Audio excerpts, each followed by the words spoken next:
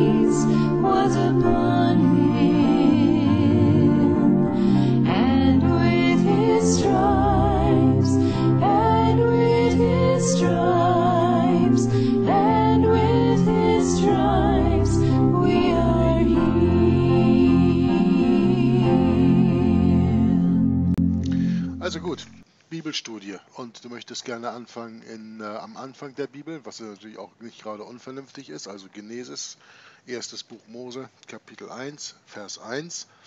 Ähm, wer soll denn lesen? Weil wir sind ja mit dreien hier.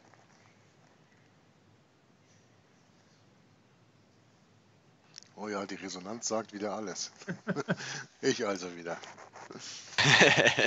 ja, also ich würde das dir auf jeden Fall überlassen wollen an erster Stelle.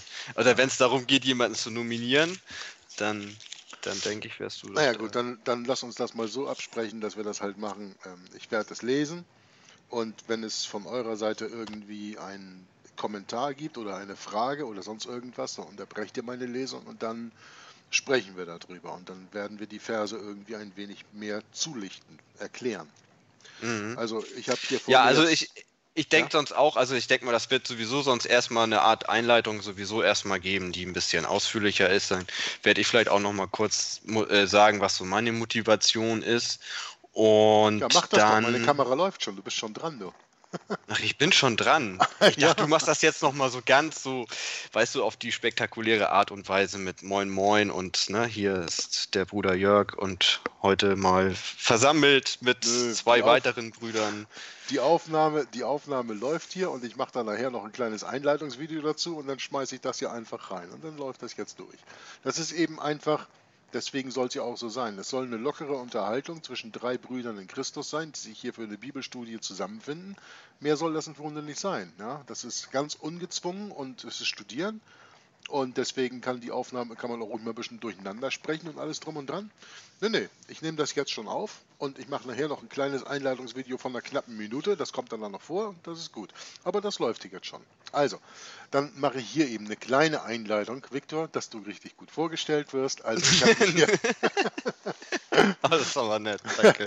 Ich habe mich hier also heute Abend eingefunden, Viktor und Michael verbunden über Skype, weil Viktor mich mal darauf angesprochen hat, dass er eigentlich gerne mal eine Bibelstudie machen würde. Und ähm, neben diesen ganzen Übersetzungsarbeiten, das kann ich verstehen, dass er gerne auch mal den Kopf frei haben möchte für den Herrn. Und es ist ja immer interessanter, eine Bibelstudie mit mehreren Leuten zu machen, solange es nicht zu viel sind, als immer alleine zu studieren. Ich meine, alleine studieren bringt auch was, aber es bringt auch oftmals etwas, wenn man sich mit anderen austauschen kann. Jesus Christus hat gesagt, wo zwei oder drei in meinem Namen versammelt sind, in deren Mitte werde ich sein. Wir sind mit dreien hier versammelt, zwar nicht physisch, aber über Skype miteinander verbunden. Und wir fragen die Intervention des Heiligen Geistes und Jesus Christus, um bei uns zu sein und um uns zu leiten in alle Wahrheit durch das Studium der Bibel, seiner Bibel, seines Wortes, seines wahren Wortes, dass wir etwas besser, noch etwas besser kennenlernen wollen. Ich hatte Viktor gefragt, wo wir denn am besten anfangen können. Und dann sagt er, ja, wir fangen am Anfang an. Ich meine, es hätte ja auch sein können, dass er sagen wollte, ah, wir haben gestern in Romanismus und Reformation Jesaja 53 besprochen. Äh, ich habe übrigens gerade ein Einleitungsvideo dazu gemacht, sehr hübsch, das ähm, zeige ich euch nachher mal, das mache ich dann als Intro und Outro zu diesem Video auch über Jesaja 53, Vers 5 von äh, Abigail Miller. Ähm, das mache ich da mit rein. Und äh, es gibt auch vielleicht irgendein Buch im Neuen Testament, wo man hätte anfangen können. Man kann natürlich auch sagen von, äh, wisst ihr was, erste Sitzung einer Bibelstudie. Wir fangen am ersten Satz, im ersten Wort des äh, ersten Kapitels des ersten Buches der, der Bibel an und arbeiten uns so durch bis zum Ende. Ja, dann kann ich euch sagen, dann wird das eine verdammt lange Studie. Die wird dann wohl mehrere Jahre in Beschlag nehmen. Aber jedenfalls, lass uns mal sagen, Viktor hat beschlossen, wir fangen im ersten Buch Genesis an und deswegen kann Viktor dann jetzt auch mal seine Motivation für diese Studie ein wenig erklären. Bitte schön, Viktor. Ja, hallo, moin moin und vielen Dank, lieber Bruder Jörg, dass du jetzt ja auch die, gerne die Zeit nimmst dafür, auch um, ja, um uns jetzt zusammenzufinden, um ein wenig über die, das Wort Gottes, über die Heilige Schrift zu sprechen. Und ähm, ich denke ganz kurz noch, würde ich vielleicht noch den Bruder Michael noch einmal ganz kurz zu Wort kommen lassen, dass auch deine Zuhörer auch noch mitbekommen, dass der auch heute mit an Bord ist. Und äh, ja, sage ich doch mal auch ganz äh, an der Stelle Hallo, Michael. Ja, ich dachte halt, dass du noch ein bisschen mehr Einleitung hättest. Ja, das, das werde ich gleich, das werde ich gleich noch machen. Also, okay, also hallo Michael dann. hallo.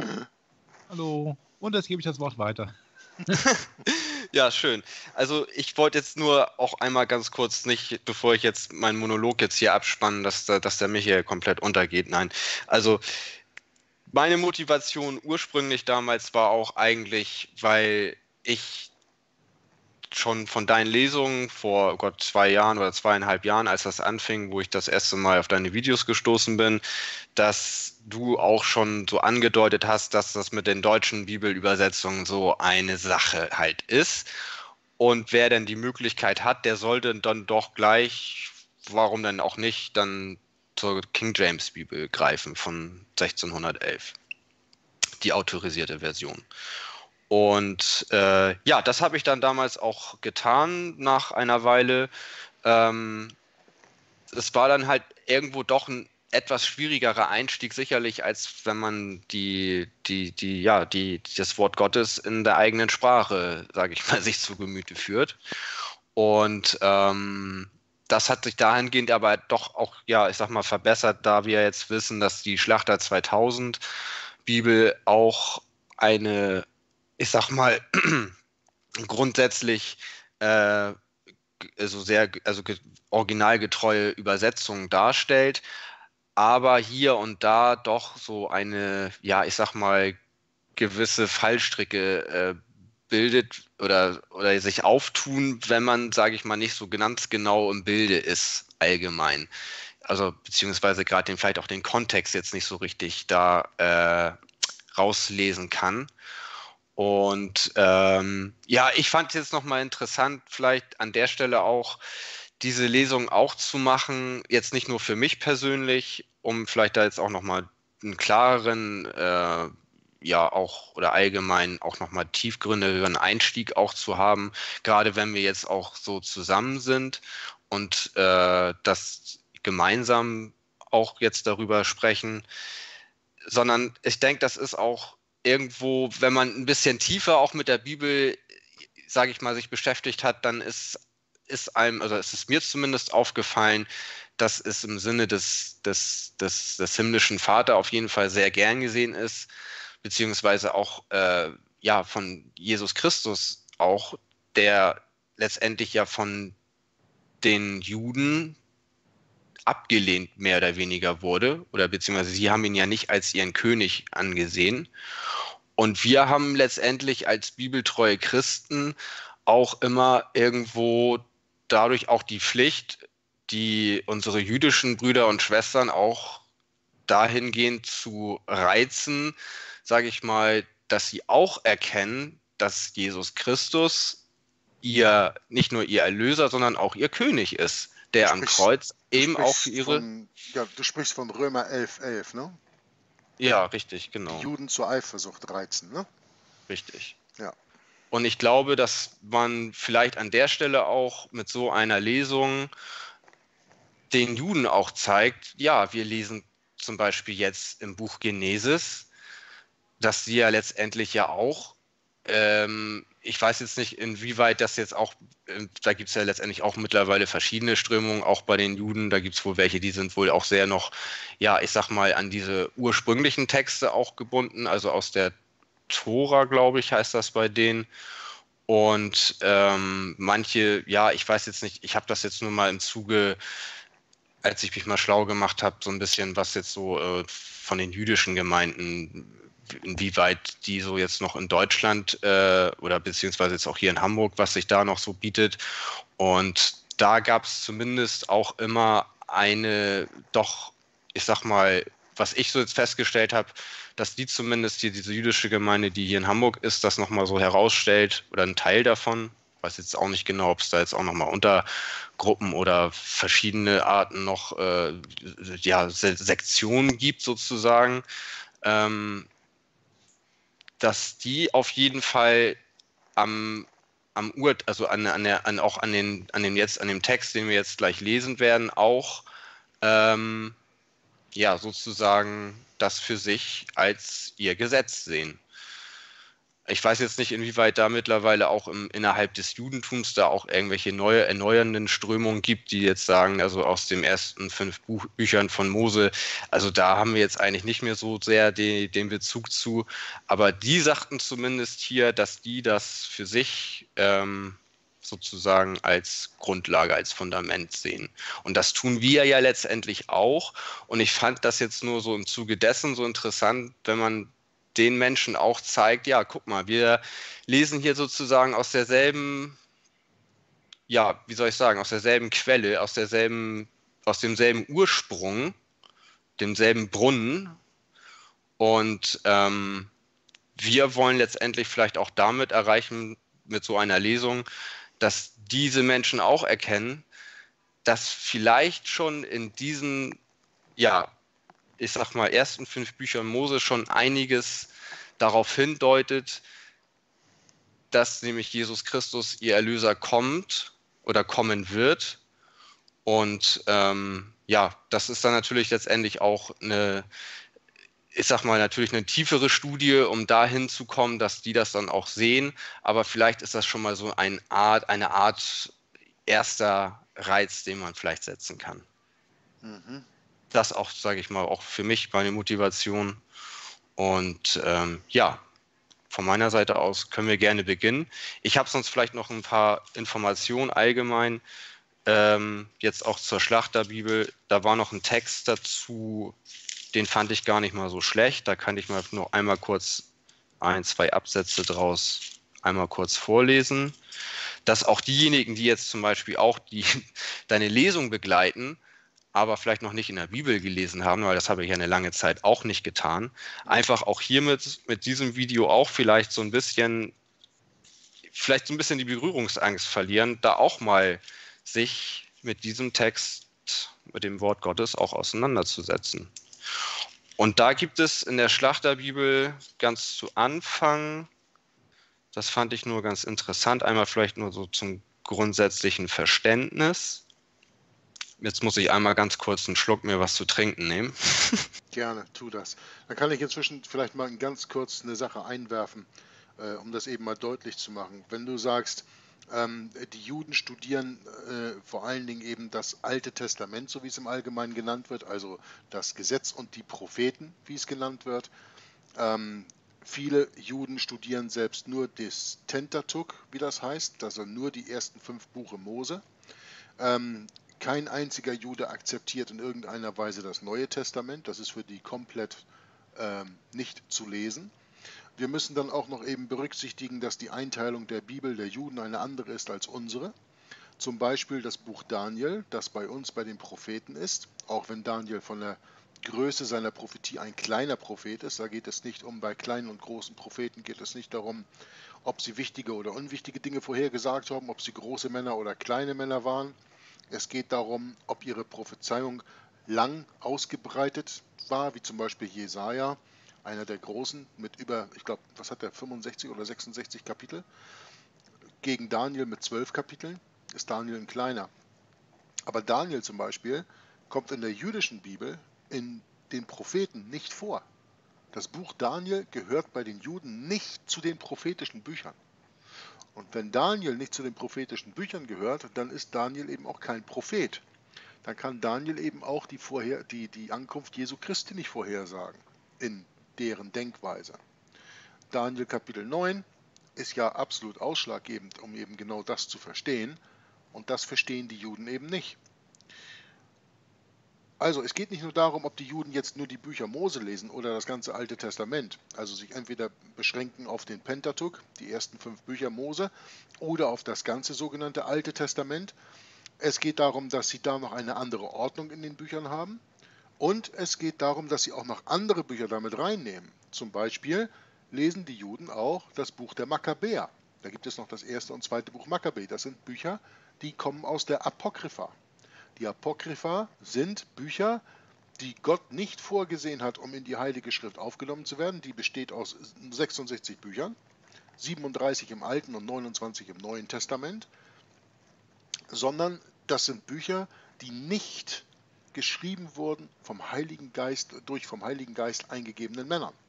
Das sind ich will die Bücher jetzt gar nicht sagen, die müsst ihr in die Mülle drücken. Ja, das müsst ihr, wenn ihr euch nur an die Bibel haltet, aber das sind Bücher, die teilweise interessant sind, um bestimmte Geschichten oder Geschichte auch zu verstehen. Zum Beispiel kommt im Buch der Makkabäer ähm, der Epiphanos vor, der sonst in der Bibel überhaupt nicht vorkommt, der im Tempel der Juden, bevor Jesus Christus kam, Schweine geopfert hat.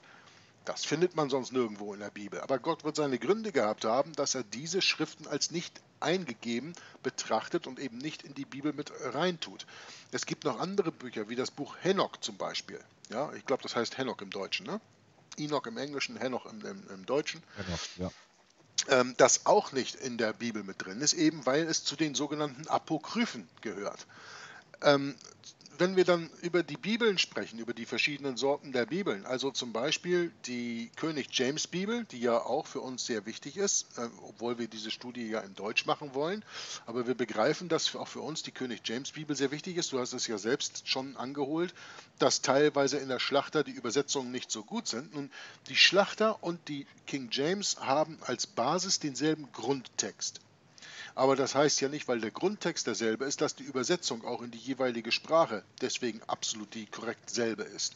Und die Schlachter wählt halt teilweise, obwohl sie denselben Grundtext hat, im Deutschen ein anderes Wort als das Wort, was die englischen Übersetzer der König James Bibel wählen.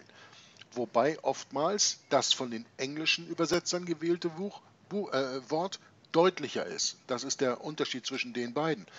Aber die Bibeln beruhen beide auf dem Textus Receptus im Neuen Testament, aus dem Koine griechischen Text, dem über 5000 Dokumente zugrunde liegen, die alle miteinander übereinstimmen.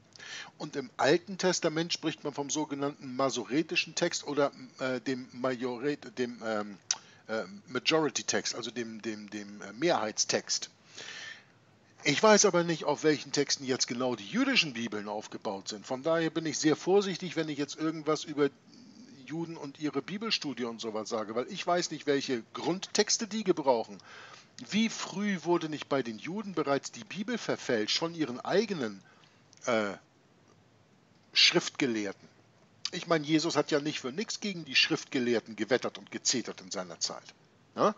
Und diese Schriftgelehrten waren diejenigen, die die Schrift nicht nur ausgelegt haben, das waren auch diejenigen, die die Schrift bewahrt haben und die die Schrift kopiert haben, weil es gab ja damals keine Druckmaschinen. Ja, wenn man eine Bibel erstellen wollte, selbst bei, den, äh, selbst bei den Juden im Alten Testament, da musste alles abgeschrieben werden. Und wer sagt nicht, dass Leute, die eben die Bibel abgeschrieben haben, eben nicht von Gott inspiriert waren und teilweise eben diese Schriften verfälscht haben? Ich weiß nicht, inwieweit die jüdischen Bibeln sich an dieselben Texte halte, wie an, halten wie an die Texte, die wir hier, der Schlachter und damit eben auch der König James Bibel zugrunde legen. Aber es ist schon wichtig, einmal anzuholen, dass man die Bibel immer als Ganzes sehen muss. Man kann nicht das Alte Testament ohne das Neue Testament betrachten und man kann nicht das Neue Testament ohne das Alte Testament betrachten.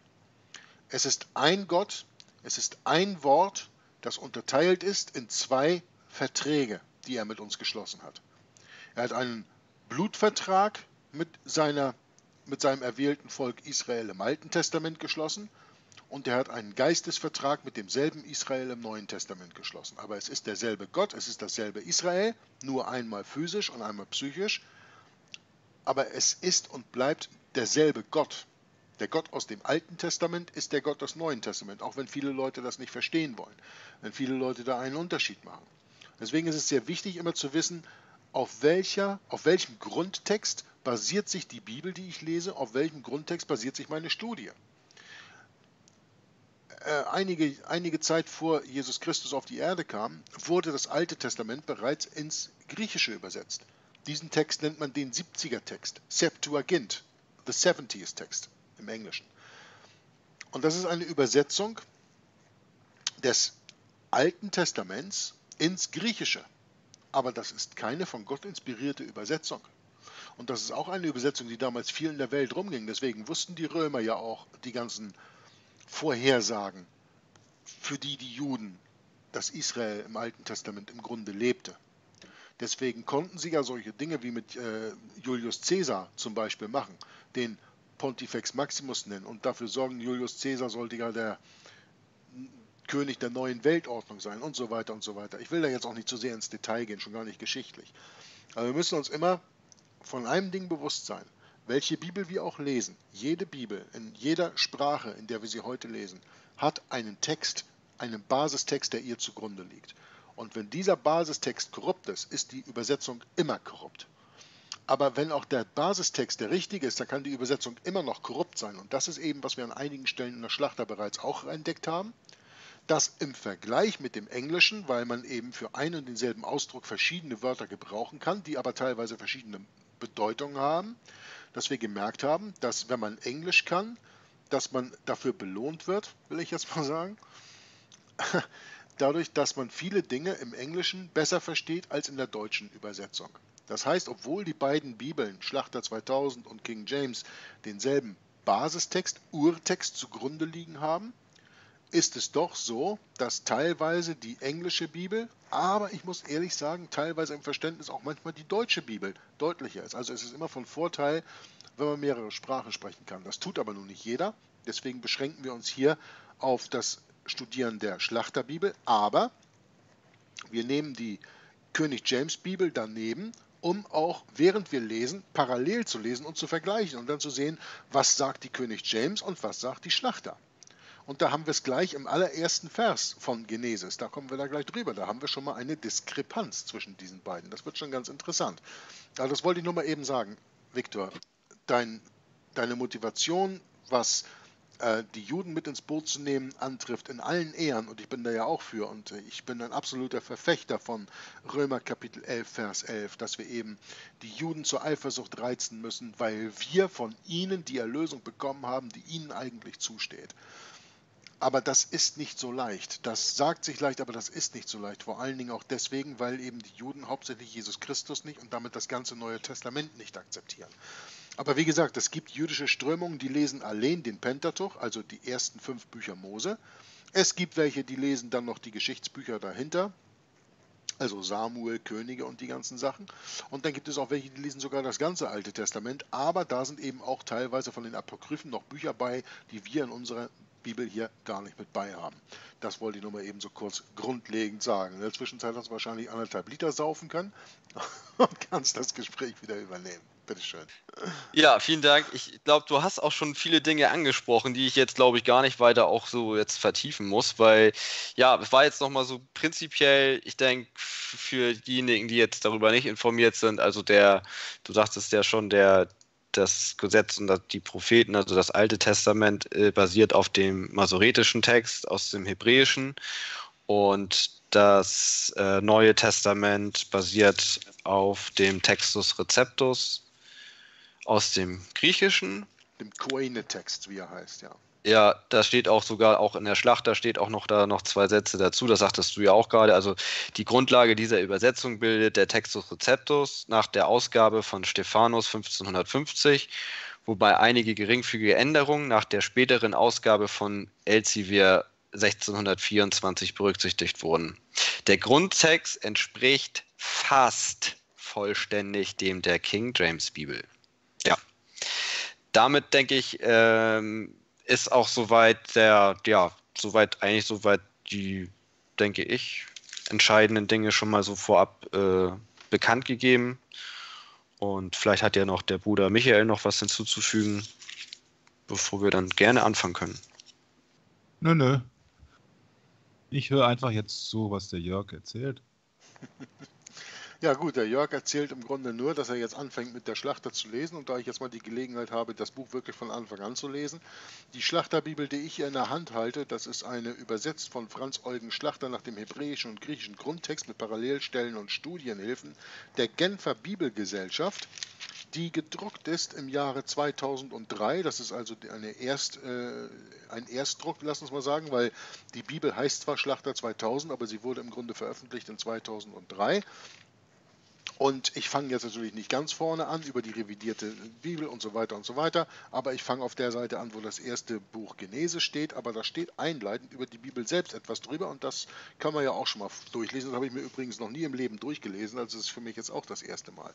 Ich weiß nicht, inwieweit ihr das in eurer Bibel stehen habt, aber bei mir steht hier, das erste Buch der Bibel wurde, wie auch die anderen vier Bücher des Pentateuch, also des griechischen Fünfbuch von Mose, dem großen Propheten Gottes auf Anweisung des Herrn niedergeschrieben. Und das ist schon mal, wer Geschichte studiert, nicht 100% richtig, weil Mose hat nicht alle fünf Bücher geschrieben. Es gibt drei oder vier verschiedene Autoren. Aber da macht mal bitte eure eigene äh, Nachforschung drin, aber er hat absolut den Löwenanteil von den ersten fünf Büchern geschrieben.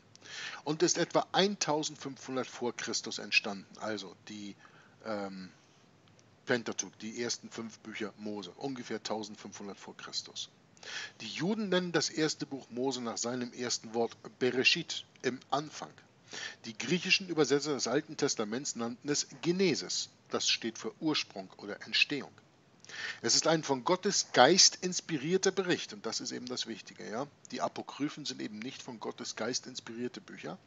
Es ist ein von Gottes Geist inspirierter Bericht über die Erschaffung der Welt und die Anfänge der Menschheitsgeschichte. Es offenbart uns den Ursprung der Schöpfung und des Menschen, den Sündenfall und das gnädige Rettungshandeln Gottes. Kapitel 1 bis 11 in Genesis behandeln die Geschichte der Menschheit von Adam bis Abraham. Kapitel 12 bis 50 die Berufung Abrahams und Gottes Verheißung auf ihn sowie den Weg Isaaks und Jakobs, der dann Israel wird, bis zum Aufenthalt der Israeliten in Ägypten. Kein Buch des Alten Testaments ist für das Verständnis der ganzen Heiligen Schrift so grundlegend wichtig wie dieses Buch des Anfangs. Es ist ein unantastbarer Grundstein des Glaubens, eine wunderbare Selbstoffenbarung des lebendigen Gottes. Der Punkt ist, wenn ich jetzt anfange, den ersten Vers im ersten Buch Mose zu lesen und jemand schaut dieses Video und glaubt den ersten Satz nicht, dann kann ich dir jede weitere Zeitverschwendung für dieses Video ersparen. Wenn du es nicht glaubst und wenn du es nicht glauben willst und wenn der Herr dir den Glaube nicht eingibt, um das zu glauben, dann ist diese Studie nicht für dich. oder noch nicht für dich. Musst du vielleicht ein paar Jahre warten und dann nochmal wiederkommen. Also, wir lesen hier über die Urzeit, von der Schöpfung bis Abraham, Kapitel 1 bis 11, der Anfang der Welt. Gott erschafft Himmel und Erde. Noch ein weiterer Punkt, bevor ich dann endlich anfange zu lesen. Diese Bibel ist gemacht als eine Studienbibel und sie hat sehr viele Randnoten und Fußnoten und Verweisungen äh, am Rand auf andere Bücher der Bibel. Also wenn ich zum Beispiel jetzt hier äh, am Anfang äh, in, in der Bibel lese, dann verweist das auf Nehemia, auf Psalme, auf Jeremia, auf Johannes und noch in anderen Dingen auf Sprüche, Hebräer und Johannes und so weiter und so weiter. Ich gehe auf diese Randnoten und Fußnoten nicht ein. Aus verschiedenen Gründen. Der Hauptgrund, weshalb ich es nicht tue, ist, Gott hat diese Randnoten nicht geschrieben. Die sind von Menschen dazugefügt. Das heißt, da will dir ein Mensch sagen, um das besser zu verstehen, musst du das und das auch lesen.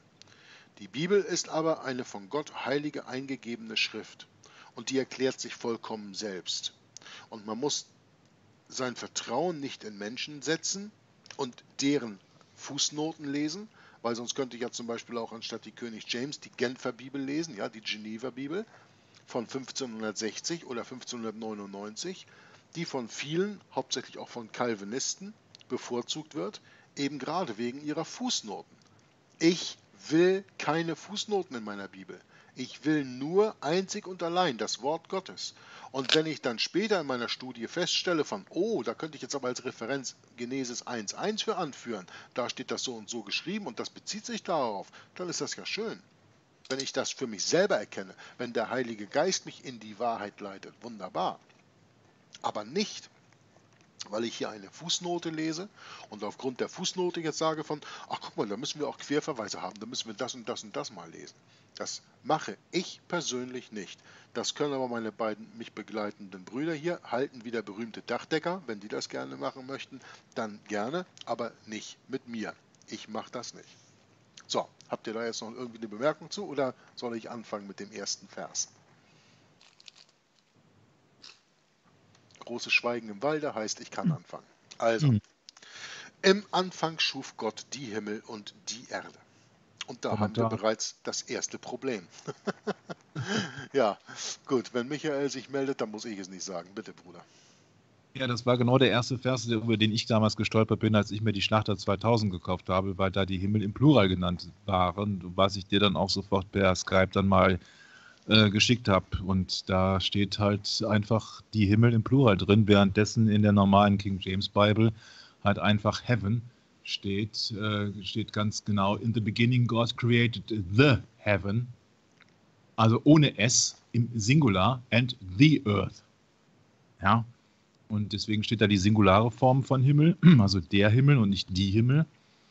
Und davon ausgehend ähm, habe ich mir dann ähm, in der Software eSort mal die Wurzel oder den Brunnen angeguckt von dem Wort. Und äh, dieses Wort Heaven ähm, ist da als äh, Shamayim tituliert worden. Und es gibt da wohl zwei Ausführungen von. Es gibt auch ein Plural. Aber die King James übersetzt den Singular, die Einzahl, also der Himmel, ein Himmel und die Schlachter 2000 äh, aus äh, mir unerklärlichen Gründen halt die Pluralform. Ja, ich habe jetzt in der Zwischenzeit hier mal eSword mhm. aufgemacht, dass die Leute auch wissen, über was du sprichst. eSword ist ein elektronisches, Hilf, Hilf, Hilf elektronisches Hilfsprogramm zur Bibelstudie wo immer die Originalworte mit angeführt sind. Also wenn wir hier zum Beispiel jetzt lesen, Genesis 1.1, ja, ich mache das jetzt mal eben, ihr streicht das mal eben farblich an, dass ihr das seht, dann steht hier in the beginning, also am Anfang, und dann H7225. Was heißt das denn? Da steht Reshit. Das ist von demselben, wie der Stamm des Wortes von Nummer H7218 kommt. Das erste in, äh, an, anstatt Zeit äh, in Ordnung oder Reihenfolge. Ähm, ganz spezifisch auch noch die erste Frucht. Ja? Beginnen, äh, der chiefest, also die, die höchste, die allererste äh, Frucht, Teilzeit und so weiter. Das jetzt. Alles ins Deutsche zu übersetzen, ist jetzt natürlich nicht die Absicht. Aber der Punkt ist, hier wird in der in Isort jedes Wort aus dem Alten und auch in dem Neuen Testament, im Alten Testament in Hebräisch, wird jedes Wort erklärt. Also ihr, steht, ihr seht hier in, ähm, in Hebräisch das Wort geschrieben. Das liest man dann auch von links nach rechts. Dann seht ihr hier ist in lateinischen Buchstaben geschrieben, Reshit, wie man es ausspricht, und hier Reshit, wie man es ausspricht. From the same as und so weiter und so weiter. Das ist das eSort-Programm. So, und hier sagt Michael, hätte er gesehen, hier ist das Wort Heaven, also Himmel, H8064, Shamayim, Shameh.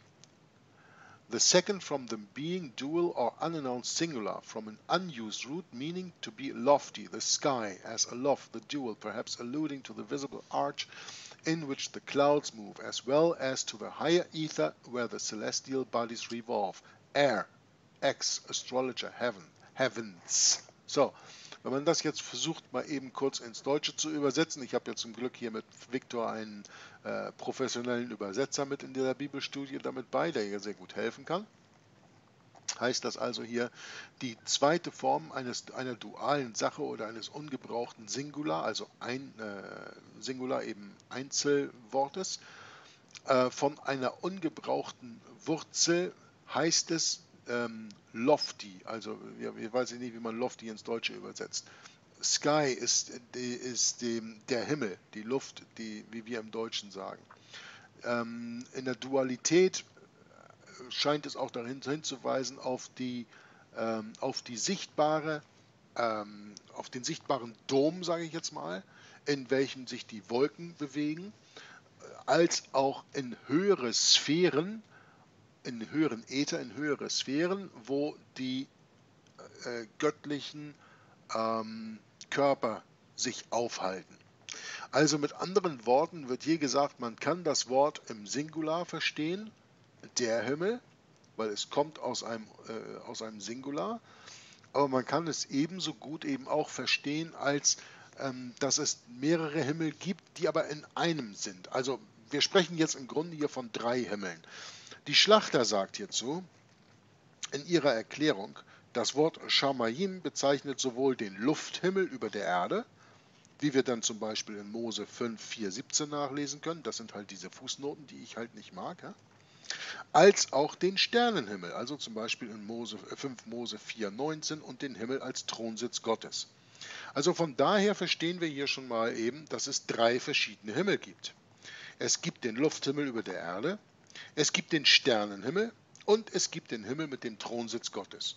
Nun, ich glaube, dass wir alle drei, wo wir hier zusammen sind und diese Bibelstudie machen, uns damit einverstanden erklären können und darin übereinstimmen, dass diese Aussage, dass es diese drei Himmel gibt, vollkommen korrekt ist, ja?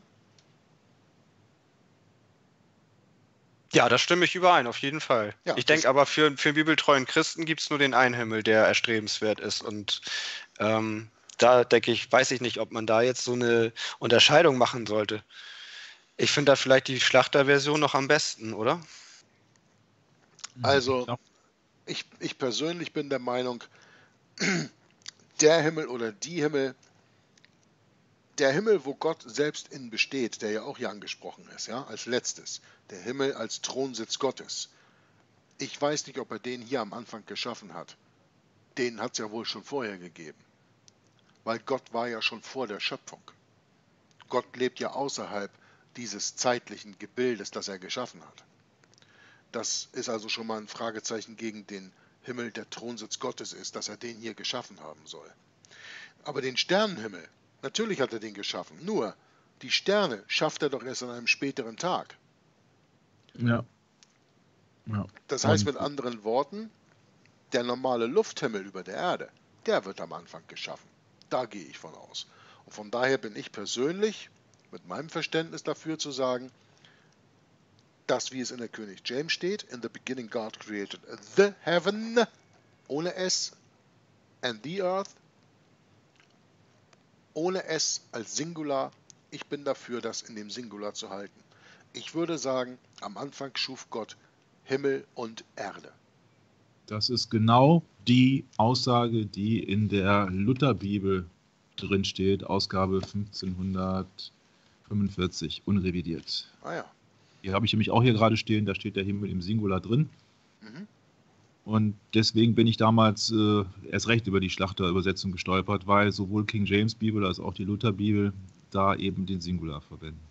Ja, da ist ja interessant dazu, dass wir eben gelernt haben von Viktor, der ja vorhin gesagt hat, dass, das war doch Viktor, ne? der das gesagt hat mit den, mit den Texten, ne? dass die Schlachter fast 100% ja. auf dem Originaltext beruht. Ne? Es steht sogar selbst in der Schlachter drin. Ja, ja gut, in, in deiner Schlachter, ich weiß in meiner vielleicht auch irgendwo in einem Vorwort oder so, aber es ist ja prima. Ja, das ist genau, ja. Aber äh, der, der, Punkt, der Punkt, den wir hier machen wollen, ist ja der, sie geben es selber zu, dass sie nicht 100% korrekt sind.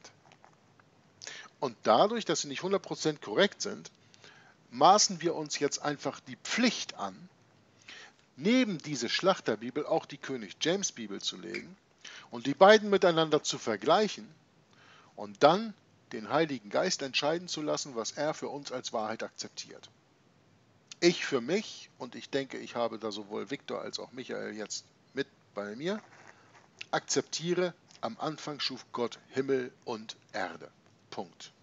Das war am Anfang.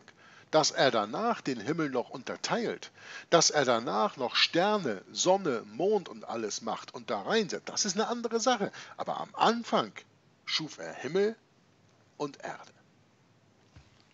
Ich denke, das hat doch einen Grund, warum Martin Luther das halt einfach im Singular übersetzt hat. Das heißt, die, die Schriften von Erasmus beispielsweise würden dann ja, vermute ich zumindest, auch den Singular ausweisen. Und du hast ja mit der Chronologie auch recht. Ansonsten ähm, die Genesis. Mit Erasmus, Entschuldigung, da muss ich dich mal kurz unterbrechen. Erasmus hat den Textus Receptus gemacht, ja. nicht den masoretischen Text aus dem Alten Testament. Ne? Ach ja, okay, gut, da Denkfehler, okay.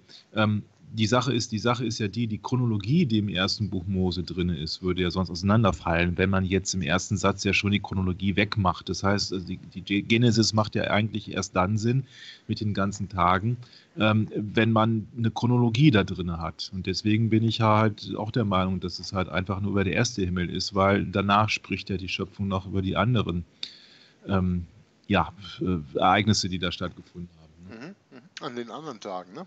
Ja. Ich glaube, auf dem ersten Tag kommen noch andere Dinge. Ja, ist ganz richtig. Vielleicht ist es auch gerade für einen jungen Menschen auch erstmal am Anfang auch wesentlich einfacher zu begreifen, das, was er nämlich auch sieht, dann auch, äh, dass das auch gemeint ist, wahrscheinlich. Ja, wobei natürlich, wenn wir nachts in die Luft gucken, dann sehen wir im Grunde ja nur einen Himmel. Und tags, wenn wir in die, in die Luft gucken, sehen wir auch nur einen Himmel.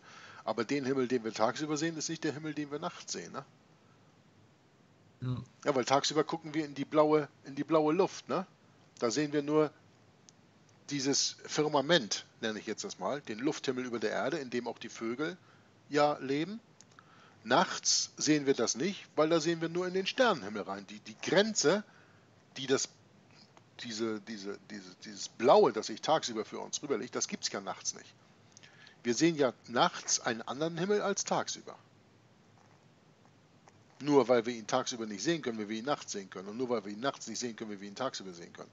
Ist es dann derselbe Himmel? Ja, das ist natürlich die Frage. Hier im Buch wird halt ein Unterschied gemacht. Da wird gesagt, der Lufthimmel ist der eine und der Sternenhimmel ist der andere. Man kann natürlich auch sagen, ey, das ist ein und derselbe Himmel. Du kannst nur nicht immer alles sehen. Verstehst du, was ich meine? Ja, und vor allen Dingen die, auch die Dinge existieren, wenn man sie nicht sieht. Ja, eben. In der Bibel wird hier der Unterschied gemacht von drei verschiedenen Himmeln, nur weil ich den einen Himmel sehe und den anderen Himmel nicht sehe.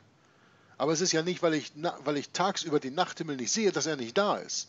Es ist ja nicht, weil ich tagsüber durch den Sonnenschein und die blaue Atmosphäre, die ich hier auf dieser Erde haben, habe, die Sterne und Planeten nicht sehen kann, dass sie nicht da sind. Sie sind ja da. Ja, Deswegen muss es ja nicht ein anderer Himmel sein. Und, und das ist nee, aber, aber in dem Moment, wo er am Anfang ist, am Anfang waren ja eben die Sterne nicht da. Deswegen macht der zweite, Sinn, ja, der zweite Himmel ja am Anfang wenig Sinn. Eben, da gebe ich dir vollkommen recht. Deswegen bin ich ja auch ein Befürworter, um zu sagen, am Anfang schuf Gott Himmel und Erde. Ja. So, Punkt aus. Und nicht die Himmel und Erde. Ich glaube, ich glaube, äh, ganz großer Anteil der, ähm, ja, der, der überhaupt der, der Bibelleser und der Zuhörer äh, dieses, äh, dieser Bibelstudie haben, glaube ich, noch nicht so die Sprengkraft alleine des ersten Satzes äh, verinnerlicht. Ja, am Anfang, am Anfang, am Anfang schuf Gott, und zwar mit Gott ist ja auch der höchste Gott gemeint, wenn ich in, in der wenn, äh, im E-Sort danach gucke. Also quasi the, the Supreme God, der allerhöchste Gott, also der, der schöpft und nicht der, der ähm, den halt vielleicht äh, viele Menschen äh, als Gott betiteln, sondern der Schöpfergott, also unser, unser, unser Vater im Himmel. Ja. Elohim, wie er hier im Originaltext genau, heißt. Ja. Genau, genau, prima, Elohim, genau. Ähm, am Anfang schuf Gott Himmel und Erde. Und dahinter kommt der Punkt. Und damit äh, sind wir jetzt direkt im diametralen Widerspruch zur gängigen Wissenschaft. Ja, am Anfang schuf Gott nämlich eben und nicht am Anfang schuf der Einzeller, der Oknall, eine Amöbe, ähm, wer auch immer irgendetwas, sondern am Anfang schuf Gott. Und die, die, die zweite Sprengkraft, die alleine schon in diesem einen ganz simplen Satz äh, drin steckt, ist am Anfang schuf Gott Himmel und Erde.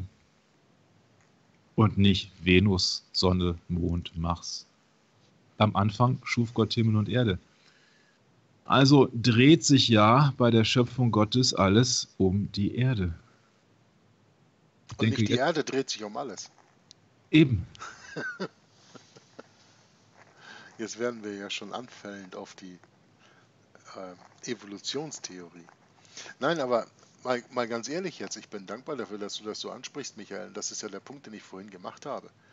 Wenn man sich hinsetzt, um eine Bibelstudie zu machen und man liest sie, man setzt sich hin und man glaubt schon den ersten Satz nicht, am Anfang schuf Gott Himmel und Erde, dann hat man schon mal ein Problem. Da muss man im Grunde gar nicht weitermachen. Wenn ich das nicht glaube, wenn ich nicht glaube, dass der Ursprung allen Geschöpften und allen Lebens, Elohim, wie er hier in Ishort heißt im original äh, hebräischen Text, unser Vater im Himmel ist, wenn ich das nicht glaube, dann muss ich schon mal gar nicht weiterlesen. Weil die Bibel ist nicht Moby Dick. Die Bibel ist nicht Harry Potter. Ne? Das ist, die Bibel ist ein Buch, mit dem uns, also ich finde das, find das ein sehr gutes Wort. Ich, ich bringe das mit Daryl, bringen wir das immer im Englischen. Die Bibel ist unsere Gebrauchsanweisung für unser Leben. Und wenn schon der erste Satz, wenn ich den nicht glaube, dann muss ich das Buch auch gar nicht weiter gebrauchen. Schau, wenn ich, wenn ich mich in so einen 50 Millionen Euro teuren Kampfjet reinsetzen würde, so ein Eurofighter oder was weiß ich, und ich weiß nicht, wie das Ding fliegt, und ich nehme mir das Handbuch, und da steht, am Anfang müssen Sie den Startknopf drücken. Und ich sage, das glaube ich nicht. Ich mache das anders. Da muss ich mich auch nicht wundern, wenn ich mit dem Ding nicht vernünftig fliegen kann. Und genauso ist es mit der Bibel. Am Anfang schuf Gott Himmel und Erde. Und wenn ich nicht glaube und wenn ich nicht für mich selber vereinnahme, wenn ich mir nicht eigen mache, wenn ich das nicht mit meiner jeder einzelnen Phase meines Körpers glaube, dann muss ich gar nicht erst weiterlesen. Weil dann habe ich falsche Voraussetzungen für diese Studie schon mal. Ich muss es glauben. Bibelstudie ist dafür da, um den Menschen das Wort Gottes näher zu bringen. Wenn Gott am ersten Wort, im, ersten Satz seines Wortes sagt, am Anfang schuf ich Himmel und Erde, und ich glaube ihm nicht, dann muss ich doch gar nicht erst weiterlesen. Das ist dann verschwendete Zeit.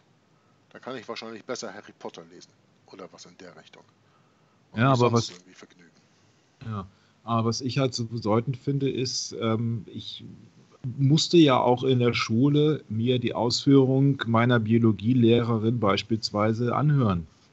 Ja, so. Ähm, wie kann man so ignorant sein? Es, es darf ja ruhig jemand eine andere Meinung dafür haben. Also ist ja kein Problem. Ich meine, die Leute mit dieser Meinung werden wahrscheinlich diese Lesung nicht hören, aber es ist ja jedem umsonst, ist ja jedem überlassen, hinzugehen und nicht einfach sagen, okay, stelle ich mir doch einfach mal vor, das würde stimmen und lese einfach mal weiter.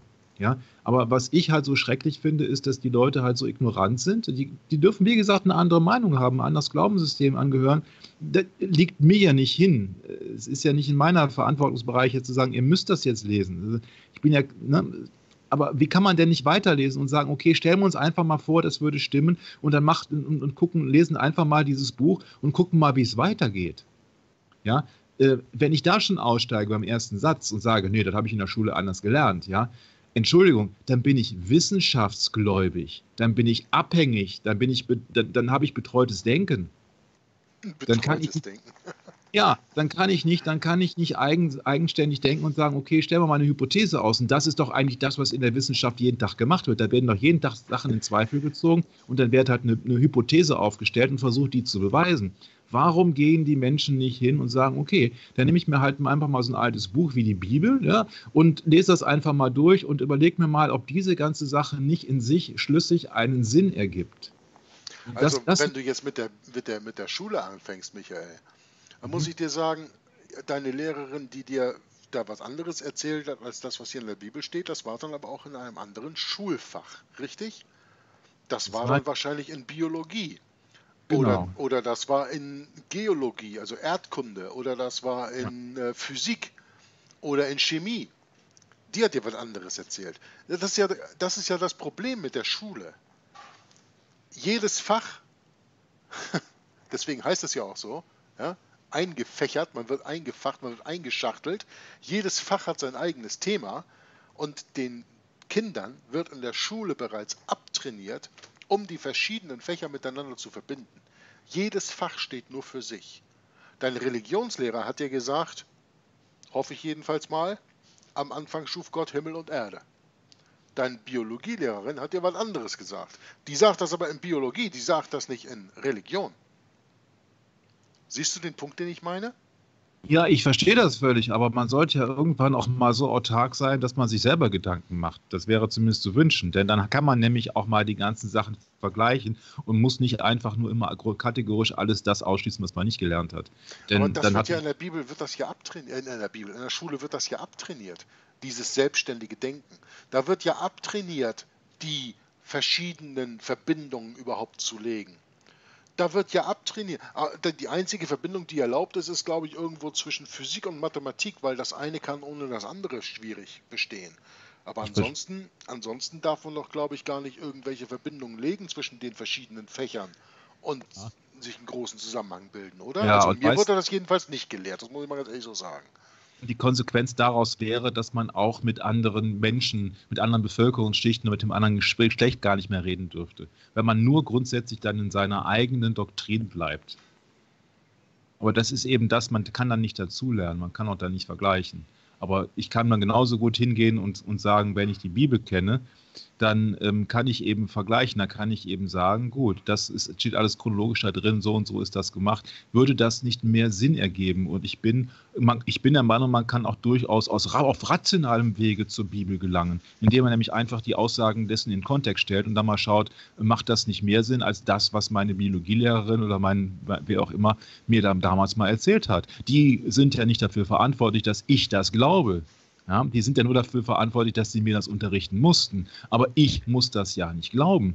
In dem Moment, wo ich eine äh, Theorie habe und die Evolution ist nichts anderes als eine Theorie, ja, dann ist die genauso, äh, ist es genauso ein Glaubenssystem wie äh, als wenn ich die Entstehung der Welt einer Religion oder einem übernatürlichen Wesen zutraue. So, die Sachen stehen eigentlich völlig erstmal, erstmal als Hypothese gleichberechtigt nebeneinander. Ich kann nämlich die Evolutionstheorie nicht beweisen bis jetzt. Und ich werde sie auch wahrscheinlich nie, sie wird auch nicht bewiesen werden. Das wissen wir als bibeltreue Christen schon. Aber das ist ja nicht der Punkt. Der Punkt ist, die ist genauso, ein Glaubenssystem wie jetzt äh, der Kreationismus hier zum Beispiel in der Bibel. Und deswegen muss ich doch hingehen als normal denkender Mensch und sagen, okay, Moment mal, die beiden Sachen widersprechen sich, aber beides sind quasi Theorien. Denn ich war ja nicht dabei gewesen. Ich kann ja nun nicht sagen, okay, pass mal auf, ähm, ich gucke mir das alles nochmal an, sondern es ist eine Theorie und die kann ich jetzt anhand der Bibel verfolgen oder ich kann sie anhand der Evolutionstheorie und der Wissenschaft und Biologie verfolgen. So, und dann kann ich doch als normal, normal denkender Mensch äh, sollte man doch meinen, kann man die beiden Sachen miteinander vergleichen und dann seine Einschlüsse daraus ziehen, was jetzt richtig ist und was jetzt falsch ist. Und ich stimme dir vollkommen zu. Ja? Entschuldigung, ich stimme dir vollkommen ja. zu. Aber eben als normal denkender Mensch sagst du immer. Aber das Normaldenken wird dir ja in der Schule abgelehrt, abgelehrt. Dir wird ja gar nicht beigebracht, wie ein normaler Mensch, wie du es nennst, zu denken. Und außerdem bist du kein normaler Mensch, wenn du so denkst, Michael, sondern du bist ein abnormaler Mensch. Du bist ein politisch unkorrekter Mensch, weil du machst ja deine eigenen Gedankengänge. Du lebst ja nicht in dem Gedankenstrom, der dir eingetrichtert wird. Du machst dir ja deine eigenen Gedanken. Das kann doch nicht sein. Und schon gar nicht kannst du deine eigenen Gedanken messen an das Wort Gottes. Das kann schon mal gar nicht sein. Wo kommen wir denn dahin? Dann verlässt du doch den Bereich des betreuten Denkens, wie du es gerade so schön nanntest. Das geht doch nicht. Das ist doch gerade das Problem, warum die Kinder so missbraucht werden in unserer Gesellschaft. Wir, wir, haben gerade gestern Abend noch in Romanismus und die Reformation, glaube ich doch, oder war es? Nee, es war ein Herrscher des Bösen. Hatten wir doch gelesen von dem Satz, als es ging über die Medici-Lehrmethode, wo es ging um äh, Martin Luther, seine Aussprache, dass wir unsere Kinder tagtäglich im Evangelium unterrichten müssen. Und wenn wir das nicht tun und wir senden, wir senden sie auf Schulen, in denen das Evangelium nicht tagtäglich in die Kinder äh, eingelehrt wird, dass diese Schulen zu weit geöffneten Pforten der Hölle werden. Und dass schlussendlich jede Lehrinstitution, auf die wir gehen, in der nicht die Schrift als oberstes hochgehalten und gelehrt wird, ähm, korrupt wird. Ja, das führt ja sogar so weit, dass letztendlich ja dann die Masse schon fast diesen ersten Satz in der Bibel schon für absurd hält. Den ersten Satz. Eben. Darf, dafür sorgen diese Lehranstalten. Eben. Das ist doch genau mein Punkt. Deswegen sage ich ja, wenn jemand sich jetzt hier hinsetzt und dieses Video anschaut, das wir jetzt hier produzieren, und der glaubt schon mal nicht den ersten Satz, dann ist er so von diesem System indoktriniert gewesen, dass er überhaupt gar keine andere Denkweise mehr zulässt und dass er die Indoktrination der Evolutionsglaubenslehre aus der Schule so für Wahrheit nimmt, dass er keine andere Wahrheit daneben auch nur akzeptieren möchte. Und sagt, am Anfang schuf Gott Himmel und Erde. Ja, soll sein. Glaube ich gar nichts von. Ja, gut. Solchen Leuten kann man eben einfach nicht helfen. Die sind eben geistig verloren. Aber es gibt Leute, die wachen auf einmal auf und sagen von, ja, äh, dann legen die auf einmal Verbindungen, wie Michael das gerade gemacht hat, und sagt man, äh, warte mal, in Biologie oder Erdkunde oder Physik oder was auch immer, da haben sie mir doch damals erzählt, da ist aus nichts irgendwas explodiert und hat dann alles gemacht vor so und so vielen Milliarden Jahren und irgendwie und auf einmal war da eine Zelle, so aus dem Nix ist die da gekommen und die hat dann eine Zeit in dieser Ursuppe rumgeplanscht und weil sie dann so alleine war, hat sie gesagt, dann teile ich mich doch mal, dann bin ich nicht mehr alleine. Und dann hat die Zellteilung angefangen und dann hat es einzellige und mehrzellige Lebewesen so aus dem Nichts gegeben. Das kann ja alles sein. Aber hier steht auf einmal, am Anfang schuf Gott die Himmel und die Erde oder Himmel und Erde. Das ist ja auf einmal ganz anders. Was ist denn da jetzt dran? Das Einzige, was man tun kann, mit diesem Satz hier zu lesen, ist, die Neugier zu wecken in den, in den Leuten. Das Einzige, was wir hier machen können, ist probieren, die Leute, und jetzt komme ich mal auf das zurück, was ähm, Bruder Viktor am Anfang bereits gesagt hat, die Juden zur Eifersucht erwecken. Ja, dadurch, dass wir Heiden heute, dadurch, dass wir Jesus Christus angenommen haben und keine Heiden mehr sind, sondern Christen, die Erlösung haben, die den Juden erst versprochen war, diese Eifersucht, die wir den Juden anlernen möchten, diese Eifersucht muss man in den Lesern schüren, die an die Bibel herantreten, in dem Unglauben von, am Anfang schuf Gott Himmel und die Erde, das glaube ich nicht, die müssen wir zu der Eifersucht erregen, dass sie begreifen von, ja, aber lies doch mal weiter und sieh dann, ob es nicht vielleicht Sinn macht, dass es mehr Sinn macht, was du hier in diesem Buch liest, als das, was irgendein Doktor oder Professor oder sonst wie Lehrer in der Schule oder Universität dir über die Entstehung der Erde erzählt hat und messt die beiden empirisch an deinen Verstand und komm vielleicht mal zu der Einsicht, dass vielleicht auch noch ein anderer Weg der richtige sein kann. Nicht der, der dir dein ganzes Leben lang eingetrichtert wurde, sondern vielleicht der, der schon seit Tausenden von Jahren Bestand hat.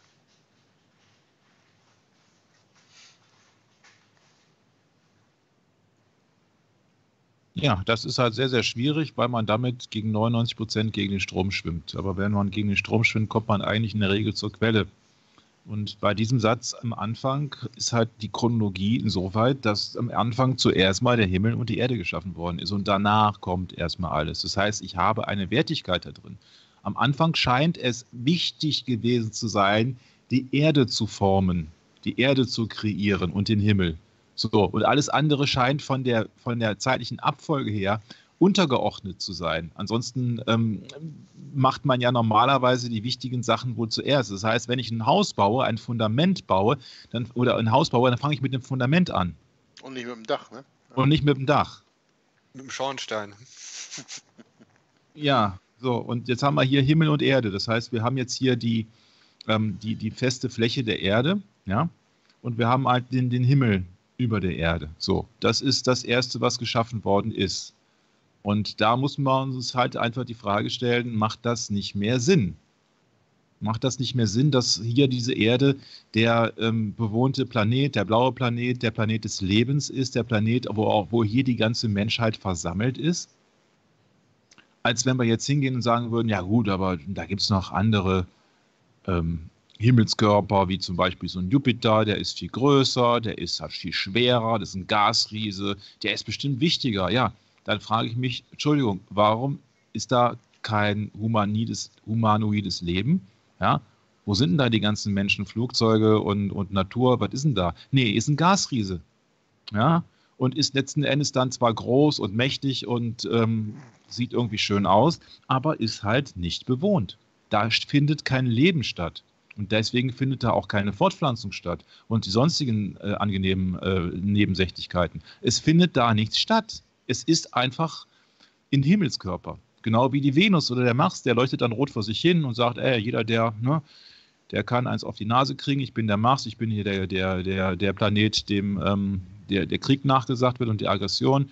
Deswegen habe ich vor 20 Jahren schon mal in einem entsprechenden Forum gepostet, ich glaube nicht, dass die Menschheit auf den Mars umsiedeln wird, weil es gibt da einfach nur Streit und Krieg.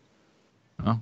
Alleine schon aus der Analogie heraus, als roter Planet ähm, und halt als Kriegsgott der Römer. Das äh, wird sicherlich nicht nett ablaufen da, wenn man mal die Geschichte des Mars verfolgt. Aber darum geht es nicht. Es geht einfach um die Chronologie, Chronologie, um die Synchronizität.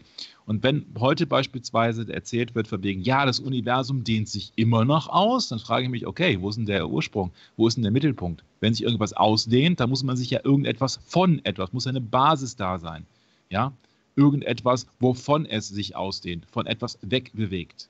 Ja, und da ist sich die Wissenschaft überhaupt nicht einig, ob das Universum überhaupt einen Anfang und ein Ende hat.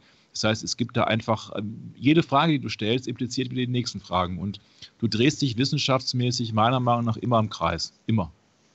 Es kann ja keiner beweisen, weil es zu der Zeit, wo die Entstehung ist, halt nur irgendwelche Überbleibsel gibt. Und das lässt sich so wissenschaftlich äh, mit verschiedensten Methoden zwar in irgendeiner Art und Weise ganz interessant darstellen, aber es lässt sich äh, final einfach nicht beweisen.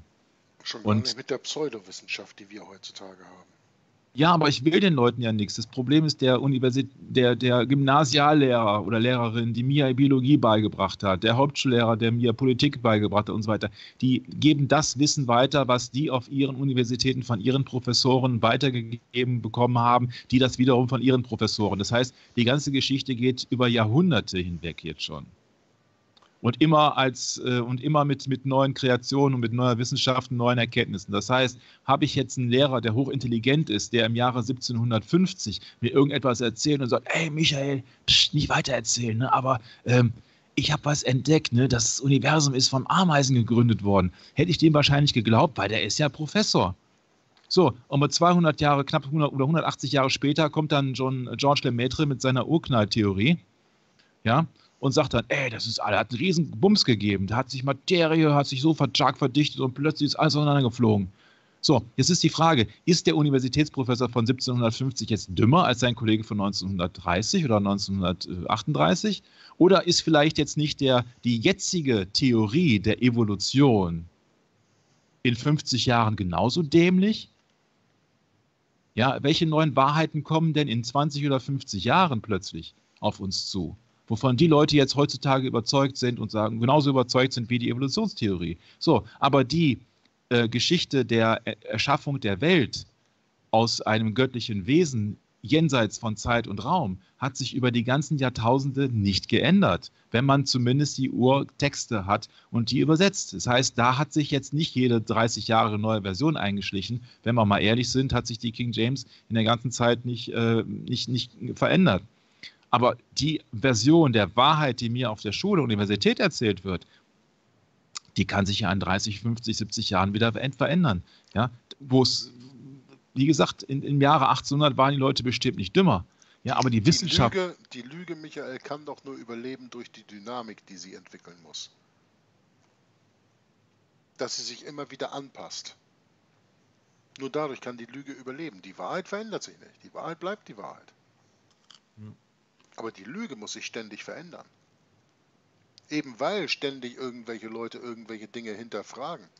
Eben ja. weil ständig irgendwelche, zwischen Anführungszeichen, neuen Entdeckungen kommen, muss sich die Lüge immer wieder den neuen Gegebenheiten anpassen. Und muss immer wieder verändert werden. Ich meine, das beste Beispiel ist doch, und dann sollten wir langsam mal zur Bibel zurückkommen vielleicht. Mhm. Das beste Beispiel ist doch, dass sowohl dir als mir, als wir in den 70er Jahren in die Schule gingen, gelehrt wurde, dass wir auf eine Eiszeit zugehen. Und heute, 40 Jahre später, schlagen sie uns globale Erwärmung um die Ohren. 40 Jahre. Wenn man sich dann mal die Mühe macht, diesen blöden Film von Al Gore, An Inconvenient Truth, also eine unbequeme Wahrheit, anzuschauen, dann kann man ja nur sagen, was, was man will, aber der Mann bezieht alles auf seine Evolutionstheorie und spricht in Zeiten von Hunderttausenden und Millionen von Jahren, wenn es um Klimaveränderungen geht, nicht 40 hm. Jahre. Mhm.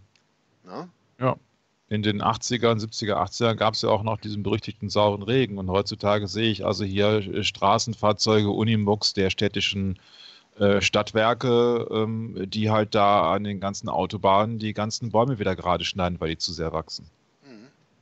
Und äh, so. heutzutage ist es der Borkenkäfer, der die Bäume vernichtet im Harz da. Ne? Nicht mehr der ja, gut. Aber, gut, aber der hat in 40 Jahren auch wieder Pause, weil dann, weil, weil dann wieder ein neuer Grund gefunden wird. Hm? Ja, wahrscheinlich kommt dann die Seidenraupe, die Bäume anfallen oder so. Ja, vielleicht gibt es dann auch irgendwelche Trollwesen oder irgendwelche Mischdinge. Man weiß es nicht. Ne? Gut, Aber also lass uns mal auf den Punkt zurückkommen. Wir wollten eigentlich eine Bibelstudie machen. Und die Bibelstudie fängt nun mal an mit dem ersten Satz im ersten Buch. Am Anfang schuf Gott Himmel und Erde. Wenn wir das uns nicht verinnerlichen, wenn wir das nicht glauben, wenn wir das nicht glauben wollen oder aus welchem Grund auch immer, dann hat Weiterlesen in diesem Buch keinen Sinn. Wenn wir aber sagen von, hier steht was ganz anderes als das, was ich mein Leben lang sonst wo gelehrt habe, jetzt möchte ich doch mal eben von dem Punkt ausgehen, jetzt möchte ich doch mal eben verstehen, warum Jesus gesagt hat, schickt die Kinder zu mir, denn ihrer ist das Reich Gottes. Warum wollte Jesus Christus die Kinder haben? Weil die Kinder noch nicht indoktriniert sind mit falschem Wissen weil sie deswegen der Wahrheit unverfälscht gegenüberstehen und die Wahrheit aufsaugen können wie ein Schwamm, weil in ihren Köpfen nichts anderes ist, mit der sie, ähm, wo sie die Wahrheit drüberlegen müssen, sondern die Wahrheit füllt direkt ihren ganzen Kopf. Und wenn ich mich an eine Bibelstudie wie diese ranwage, dann muss ich mich mal trauen, alles das, was ich bis jetzt in meinem Leben gehört, gelesen, gesehen, gelernt habe, wegzutun. Ich muss versuchen, mir mehr oder weniger auf eine psychische, nicht auf eine physische Art und Weise das Gehirn wegzublasen. Alles wegzutun, was da drin ist. Und sage, ey, ich fange mal an zu lesen. Am Anfang schuf Gott die Himmel und die Erde. Wunderbar. Oder, oder einfach mal alles ausblenden, was dir jemals ein Mensch erzählt hat deswegen sage ich, das Gehirn wegblasen. Genau das meine ich damit. Alles ja, raus, ja. raus tun, was ich bis jetzt da drin habe. Ob ich das jetzt von anderen Menschen gelehrt bekommen habe, ob ich das im Fernsehen gesehen habe, ob ich das in der Schule gelehrt bekommen habe, auf der Universität oder wo auch immer. Ich muss einfach probieren mit einem klaren Kopf, mit einem leeren Kopf. Nicht dumm, nicht einfältig, aber mit einem ungebrauchten. Das ist wie mit einem neuen Computer. Wenn ihr euch einen neuen Computer kauft, dann wollt ihr doch auch nicht, dass auf der Hardscheibe da schon, was weiß ich, 25 Terabyte äh, Daten draufstehen, die ihr erst alle überschreiben müsst, bevor ihr euren Kram da drauf machen könnt. Genauso ist das hier auch. Macht eure Festplatte im Kopf leer, drückt auf Erase, ja, Format Doppelpunkt C, Enter und lass es einfach mal wirken. Am Anfang schuf Gott Himmel und Erde. Die Erde aber war wüst und leer. Er hat sie auch gerade erst geschaffen, kann da noch nichts drin sein. Und es lag Finsternis auf der Tiefe. Und der Geist Gottes schwebte über den Wassern. Und Gott sprach, es werde Licht. Und es wurde Licht. Er sprach, es werde Licht und es wurde Licht. Warum? Weil er es sprach. Er kann es. Was er sagt, ist Gesetz. Und Gott sah, dass das Licht gut war. Da schied Gott das Licht von der Finsternis. Und Gott nannte das Licht Tag und die Finsternis nannte er Nacht. Und es wurde Abend und es wurde Morgen der erste Tag. Auch hier Ganz, ganz wichtig. Ich sage oft in meinen Videos, ich habe es inzwischen aufgegeben, die Leute begreifen es doch nicht. Und Michael hat es gestern Abend auch nicht begriffen, als ich ihm sagte, wenn wir die Bibelstudie machen. Ach so. ja, ja, okay. Der Tag beginnt mit dem Abend. Ja. Es wurde Abend und es wurde Morgen, der erste Tag. Ein Tag besteht aus Abend und Morgen, aber erst kommt der Abend und dann kommt der Morgen. Warum? Am Anfang war die Finsternis. Als Gott Himmel und Erde geschaffen hat, da war die Erde wüst und leer und es lag Finsternis auf der Tiefe. Dann sprach Gott, es werde Licht und es wurde Licht. Also erst war die Finsternis, dann war das Licht. Deswegen beginnt der Tag es wurde Abend, es wurde Morgen, deswegen beginnt der Tag mit dem Abend, mit der Finsternis und er geht über in den Tag. Und der Tag endet dann, mit, wenn das Sonnenlicht, sage ich jetzt mal, um es ein bisschen plastisch ja. zu machen, untergeht. Dann fängt der neue Tag an. Der neue Tag fängt mit der Nacht an. Ja. ja. ja. Ich habe es nur gestern nicht so schnell begriffen, weil ich ja, ja auch jetzt 50 das Jahre indoktriniert bin von dieser ganzen äh, DIN-ISO-Mist, von der ganzen äh, Tageseinteilung der 24 Stunden, ja, und dass der Tag halt einfach um 0 Uhr beginnt. Was ich dazu sagen wollte, ist, äh, du hast jetzt äh, gleichzeitig bei deiner Lesung der Verse nicht den äh, Bibeltext eingeblendet. Ich habe jetzt gedacht, du wolltest den, den Text gleichzeitig mit einblenden irgendwo. Nö. Ähm, nö, gut. Ähm, dann ist es so, dass ich noch eben kurz sagen wollte, zwischen dem Genesis 1.1, ähm, also bevor da geschrieben wird, und die Erde war wüst und leer, ähm, da hat schon die dunkle Seite interveniert und die sogenannten präadamitischen Geschichten reingemacht. Also da gibt es äh, direkt schon die äh, ersten äh, unsinnigen ähm, Kreationen, dass es vor Adam und Eva schon mal eine Zivilisation gegeben hätte, ähm, die überhaupt nicht, äh, die, die völlig irrsinnig ist und die da einfach nur zeigt, dass also der Gegenspieler, ähm, der die Bibel am meisten hasst, nämlich Satan und seine Mitstreiter da äh, versuchen, die Bibel zu verfälschen. Und deswegen ist es ganz, ganz wichtig, Stück für Stück und Schritt für Schritt und Satz für Satz und Wort für Wort vorzugehen, um letzten Endes sich dafür zu rüsten, dann zu sagen, Moment mal, ähm, am Anfang schuf Gott Himmel und Erde und die Erde war wüst und leer. Da sind noch keine Menschen geschaffen worden, da sind noch keine Lebewesen geschaffen worden, da war alles wüst und leer. Und leer heißt, da ist keine Materie. Ja, da ist nichts Geschaffenes, da ist noch kein, kein Lebewesen auf der Welt und damit ist da auch kein Mensch geschöpft worden. Ja, und auch kein, kein sonstiges Wesen, äh, zumindest nicht hier auf der Erde. Ja, das wollte ich damit dazu sagen. Ja, auch kein Vormensch, auch keine Vordinosaurier und was weiß ich ja, alles.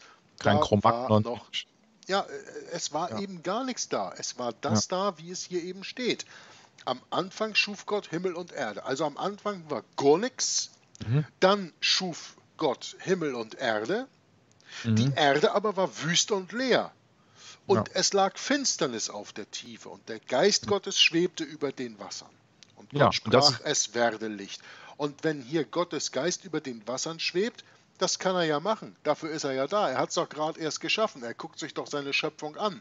Er geht darüber und schaut jetzt, was mache ich jetzt da draus. Nicht, dass er jetzt so denkt. Ne? Der hatte vorher ja schon seinen Plan.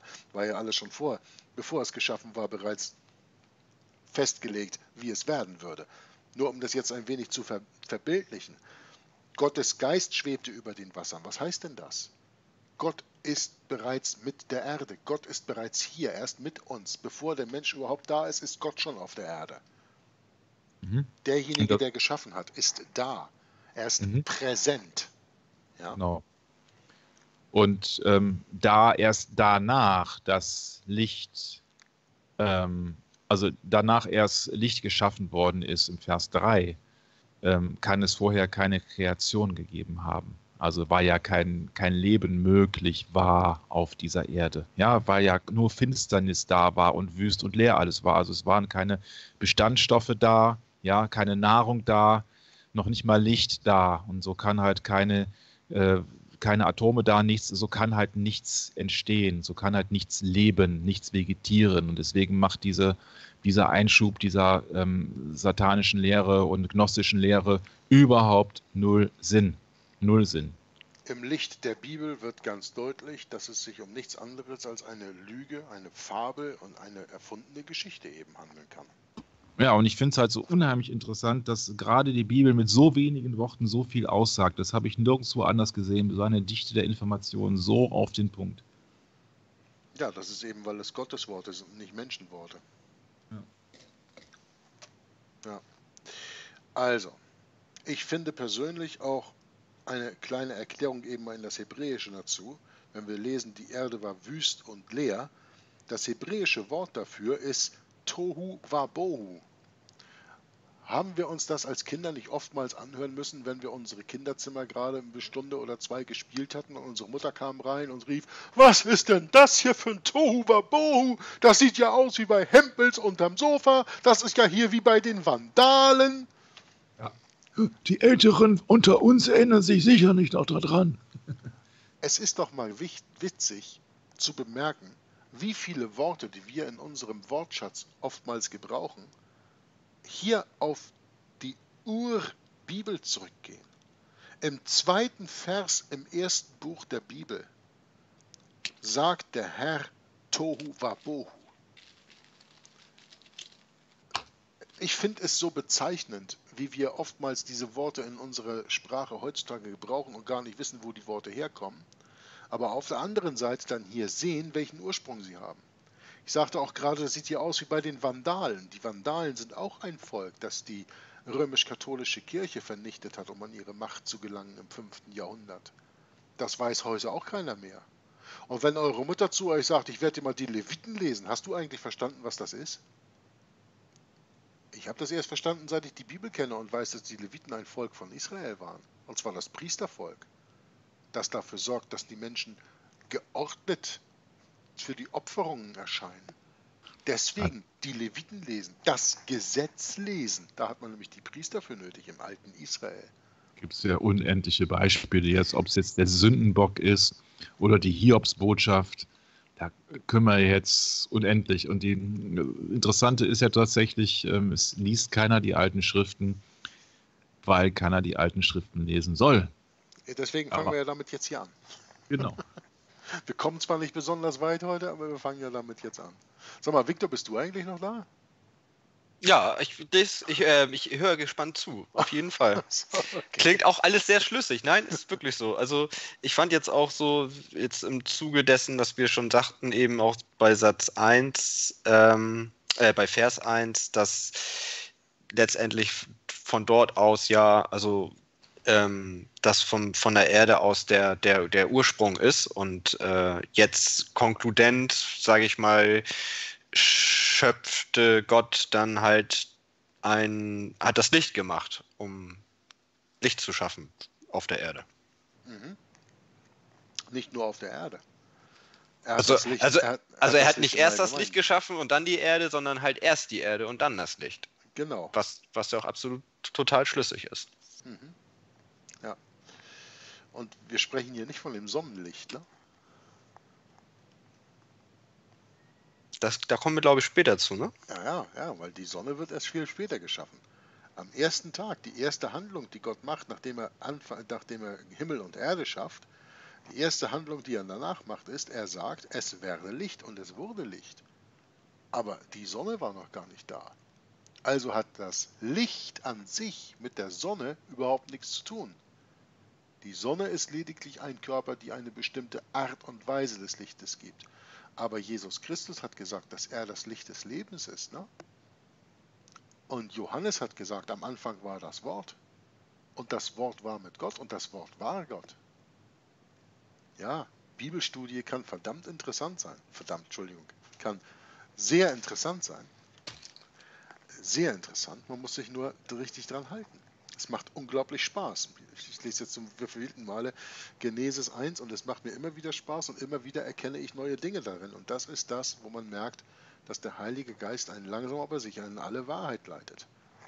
Die Erde aber war wüst und leer, nachdem sie geschaffen war. Es lag Finsternis auf der Tiefe und der Geist Gottes schwebte über den Wassern und Gott sprach, es werde Licht.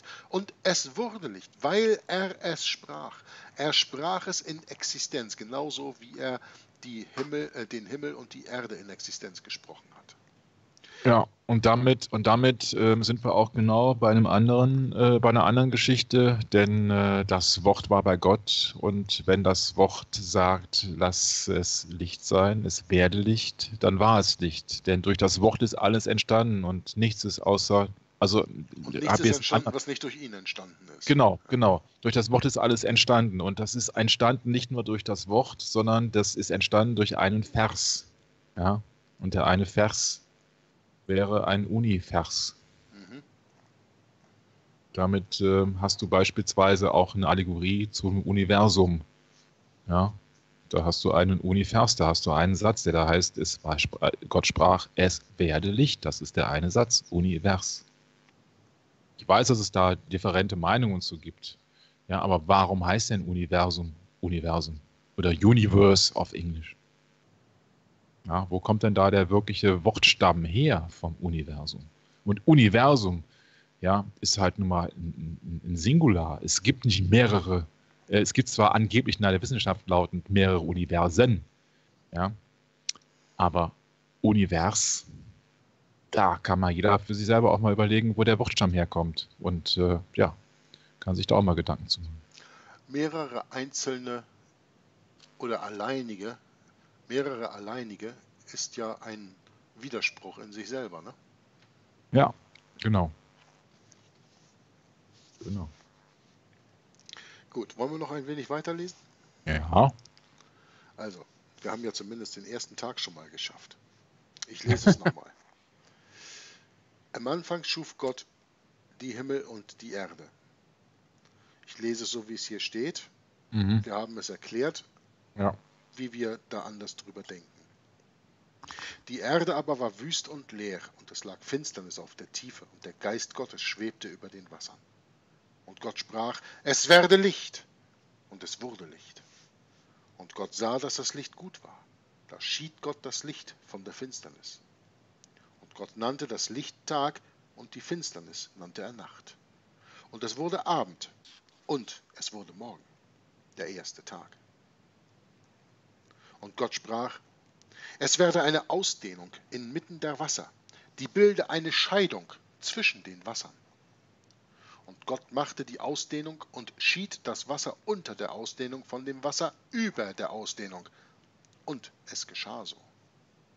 Und Gott nannte die Ausdehnung Himmel. Und es wurde Abend. Und es wurde Morgen. Der zweite Tag. Hier können wir jetzt sagen, dass Gott die Himmel schuf. Nicht wahr? Er nannte die Ausdehnung Himmel. Am Anfang schuf Gott Himmel und Erde. Da schuf er einen Himmel. Und jetzt macht er eine Ausdehnung und er schaffte einen anderen Himmel. Dann ist das für mich hier ein zweiter Himmel, der vorher da so noch nicht war. Sonst hätte er die Scheidung nicht machen müssen zwischen den Wassern. Also, Gott nannte die Ausdehnung Himmel und es wurde Abend, es wurde Morgen, der zweite Tag. Und Gott sprach, es sammle sich das Wasser unter dem Himmel an einen Ort, damit man das Trockene sehe. Und es geschah so. Gott nannte das Trockene Erde. Aber die Sammlung der Wasser nannte er Meer. Und Gott sah, dass es gut war. Und Gott sprach, die Erde lasse Gras sprießen und Gewächs, das Samen hervorbringt, fruchttragende Bäume auf der Erde, von denen jeder seine Früchte bringt nach seiner Art, in denen ihr Same ist. Und es geschah so. Die Erde brachte Gras und Gewächs hervor, das Samen trägt nach seiner Art, und Bäume, die Früchte bringen, in denen ihr Same ist, nach ihrer Art. Und Gott sah, dass es gut war. Und es wurde Abend und es wurde Morgen, der dritte Tag. Wir haben jetzt gerade eben gelernt, dass ein Apfelbaum ein Apfel fortbringt, dass ein Birnenbaum eine Birne fortbringt, dass ein Rhabarberstrauch Rhabarber fortbringt und das Gras Gras fortbringt. Und nicht, wie in der Evolutionstheorie gelehrt wird, obwohl sie es nicht beweisen können, dass ein Apfelbaum eine Pflaume hervorbringt. Weil dann wäre er ja kein Apfelbaum mehr, dann wäre er ein Pflaumenbaum. Aber in der Evolutionstheorie kommt ja alles aus dieser einen Zelle und aus der ist alles gekommen und die gibt dann verschiedene Variationen. Wenn wir nachher zur Schöpfung der Tiere kommen, dann lernen wir in der Evolution auch, dass ein Elefant ja genauso gut eine Maus gebären kann. Weil irgendwo müssen die Mäuse ja herkommen. Aber ich will jetzt nicht zu weit abwandeln, aber ich finde es ganz wichtig, dass wir uns Vers 12 nochmal gut vor Augen halten. Die Erde brachte Gras und Gewächs hervor, das Samen trägt nach seiner Art und Bäume, die Früchte bringen, in denen ihr Same ist, nach ihrer Art, nicht irgendwie kreuz und quer, jedes nach seiner Art. Und Gott sah, dass es gut war, und es wurde Abend und es wurde Morgen, der dritte Tag. Und Gott sprach, es sollen Lichter an der Himmelsausdehnung sein, zur Unterscheidung von Tag und Nacht. Die sollen als Zeichen dienen und zur Bestimmung der Zeiten und der Tage Jahre und als Leuchten an der Himmelsausdehnung, dass sie die Erde beleuchten. Und es geschah so.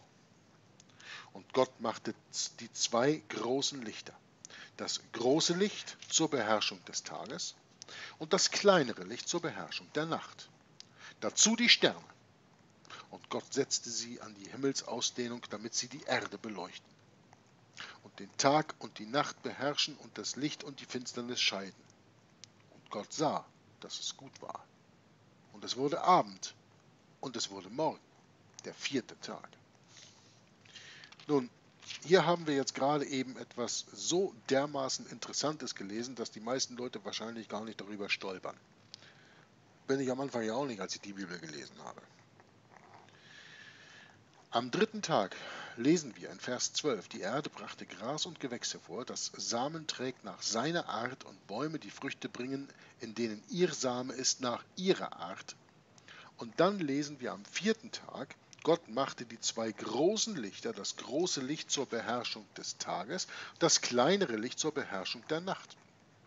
Dazu die Sterne. Die macht er so eben mal nebenbei. Bupp, die Sterne. Und Gott setzte sie an die Himmelsausdehnung, damit sie die Erde beleuchten. Und den Tag und die Nacht beherrschen und Licht und Finsternis scheiden, und Gott sah, dass es gut war. Also, wir sprechen hier, glaube, dass niemand das anzweifelt, über die Schöpfung von Sonne und Mond. Das große Licht, die Sonne für den Tag, das kleine Licht, den Mond für die Nacht. Diese sollen uns helfen, Zeiten, nämlich Tage und Jahre, zu unterscheiden und eben auch Jahreszeiten zu unterscheiden. Der Punkt ist, in Vers 12 lesen wir, dass die Pflanzen geschöpft werden und in Vers 16 und 17 lesen wir, dass die Lichter gemacht werden, die er damit an die Himmelsausdehnung setzt, dass sie die Erde beleuchten.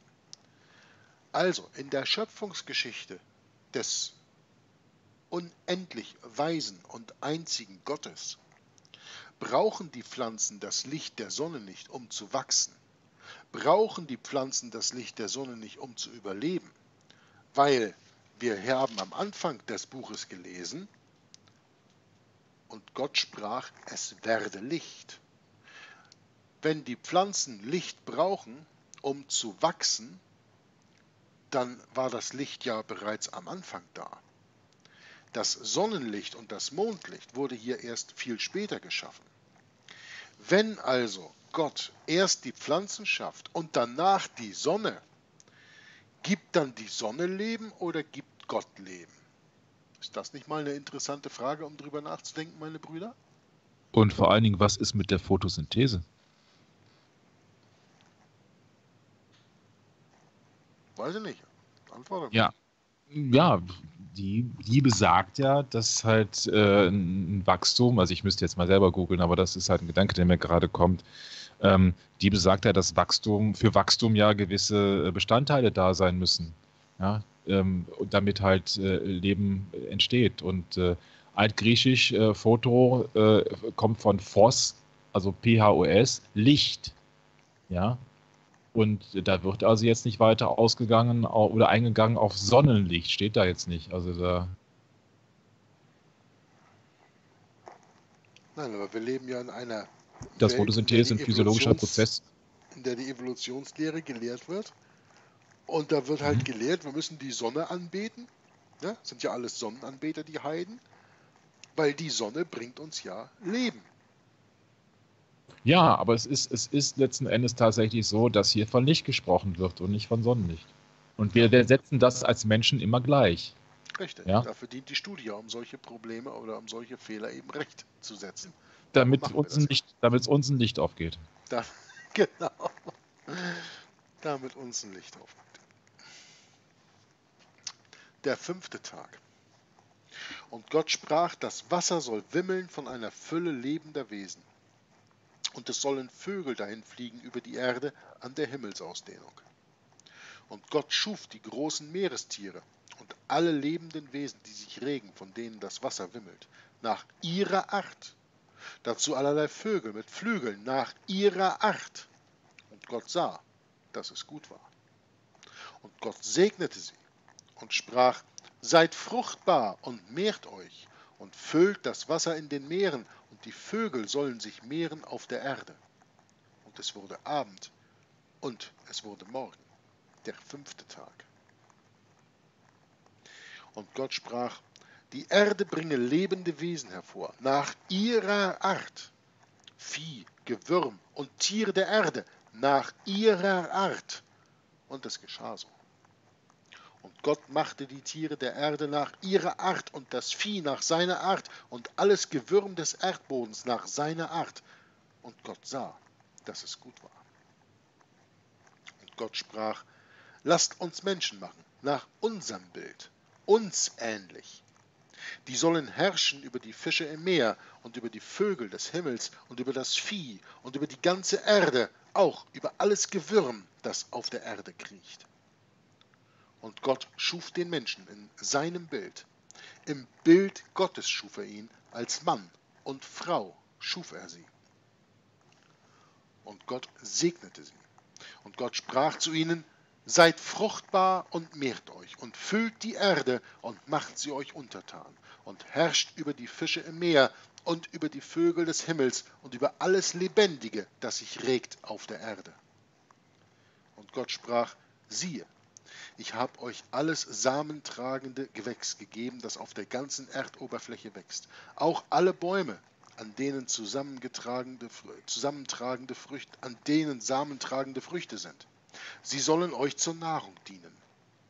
Aber allen Tieren der Erde und allen Vögeln des Himmels und allem, was sich regt auf der Erde und allem, in dem eine lebendige Seele ist, habe ich jedes grüne Kraut zur Nahrung gegeben. Und es geschah so. Und Gott sah alles, was er gemacht hatte. Und siehe, es war sehr gut. Und es wurde Abend und es wurde Morgen, der sechste Tag. Dies beendet die Lesung von Kapitel 1 aus Genesis. Und ich möchte da nächstes Mal noch mal tiefer drauf eingehen. Und zwar auf die Verse 29 bis 31 oder besser gesagt 29 und 30. Aber ehrlich gesagt, ich bin inzwischen schon ein wenig müde. Das war schon ganz schön anstrengend die ganze Zeit hier. Ähm, aber ich möchte das gerne fortfahren, nächstes Mal. Und dann möchte ich explizit auf die Verse 29 und 30 eingehen, weil die sind sowas von wichtig. Wir können auch 28 damit beinehmen. Die letzten drei Verse hier. 28, 29, 30. Die sind sowas von unglaublich wichtig zum Verständnis für viele Dinge. Zum Beispiel, und das werfe ich jetzt nochmal eben in den Raum, dann könnt ihr darüber bis zur nächsten Studie mal nachdenken. Ich sage euch, Pflanzen leben nicht. Das geht sogar hieraus hervor. Ja. Aber dazu mehr ein anderes Mal. Und ähm, da hat sicher Michael und Viktor noch eine abschließende Bemerkung zu. Von daher würde ich sagen, Michael, dann du gerne. Und da Viktor der Initiator dieser Lesung ist, kann er auch gerne das letzte Wort haben. Ja, Jörg, dann vielen Dank für die Lesung. Oh, ich habe da auch noch ganz, ganz viele Anmerkungen für das nächste Mal. Ich habe mir hier schon parallele Bibelverse auf, äh, rausgesucht. Ja, aber wenn du jetzt noch Ab über Dinge schnacken möchtest, können wir das auch noch. Ne? Nur mit der Lesung wollte ich hier aufhören. Aber wenn ja. du jetzt noch über was schnacken okay. willst, kannst du. Okay. Aber wenn du ja, in die also, Themen reingehen die ich, die ich gerade angesprochen habe, lass uns das für nee, nächstes Mal nee, aufhalten. Nee, nee, genau. genau. Genau, nein, es ist einfach, es ist einfach so, wenn, wenn du sagst, und das lege ich ja auch so, dass Pflanzen äh, kein, keine, kein Leben haben, weil die keine lebendige Seele haben, ähm, bin ich ja froh, dass mein Frettchen wenigstens eine hat. Ja, auch wenn, hat eine. Auch, auch, wenn ich, auch wenn ich die manchmal überhaupt nicht mehr durchblicke, weil halt einfach irgendwie nur ähm, sehr, sehr äh, einseitig gepolt ist. Aber gut. Ähm, wo ich darauf hinaus wollte, ist äh, die Geschichte, dass es einen Querverweis gäbe zum äh, Jesaja-Kapitel 45,7, wo geschrieben steht: ähm, ich bin der Herr und keiner mehr, der ich das Licht mache und schaffe die Finsternis, der ich Frieden gebe und schaffe das Übel. Ich bin der Herr, der solches alles tut. Und da spricht also der Schöpfergott von der vor seiner Kreation und äh, der das Licht gemacht hat und schafft die Finsternis und auch das Übel schafft. Und so könnte ich beispielsweise hingehen und sagen, gut, wenn am Anfang nun tatsächlich das Licht geschaffen wurde und Jesus Christus das Licht der Welt ist im Johannes Kapitel 8, Vers 12, ich bin das Licht der Welt, dann ist auch für mich ganz klar, wer die Finsternis besetzt. Denn der Herr spricht ja hier und schaffe das Übel. Und so habe ich da auch wieder eine Sache drin als kompletten Counterpart, als Gegenpart zum Licht der Welt ja, da habe ich auch die Finsternis der Welt und der wird auch den Fürst der Finsternis beispielsweise genannt und ist auch in den Nacht- und Nachtstunden am aktivsten. Ja, und äh, deswegen finde ich halt diese Bibelstudie immer sehr interessant. Egal, ich, ich könnte mir wahrscheinlich dieses Kapitel zehnmal durchlesen, hätte elf verschiedene ähm, Inspirationen dazu, wie, wie man das jetzt noch miteinander verbinden könnte. Will aber nur zum Abschluss eins noch sagen.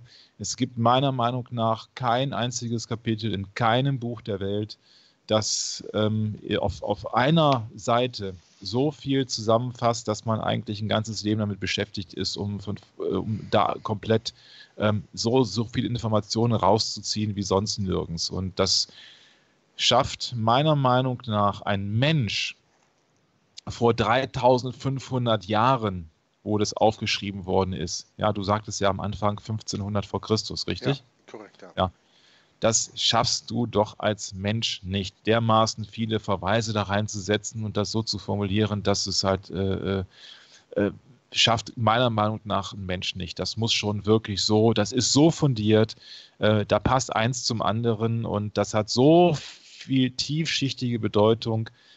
Ähm, nicht, dass ich das Mose nicht zutrauen würde oder einem Adam nicht zutrauen würde, darum geht es nicht, aber ähm, dieses Wissen, kann man nicht erwerben. Denn dieses Wissen kann ein Mensch nicht haben, der ja erst am sechsten Tag geschöpft worden ist. Ja. Und von daher muss ja irgendwo die Quelle ähm, nicht menschlichen Ursprungs sein.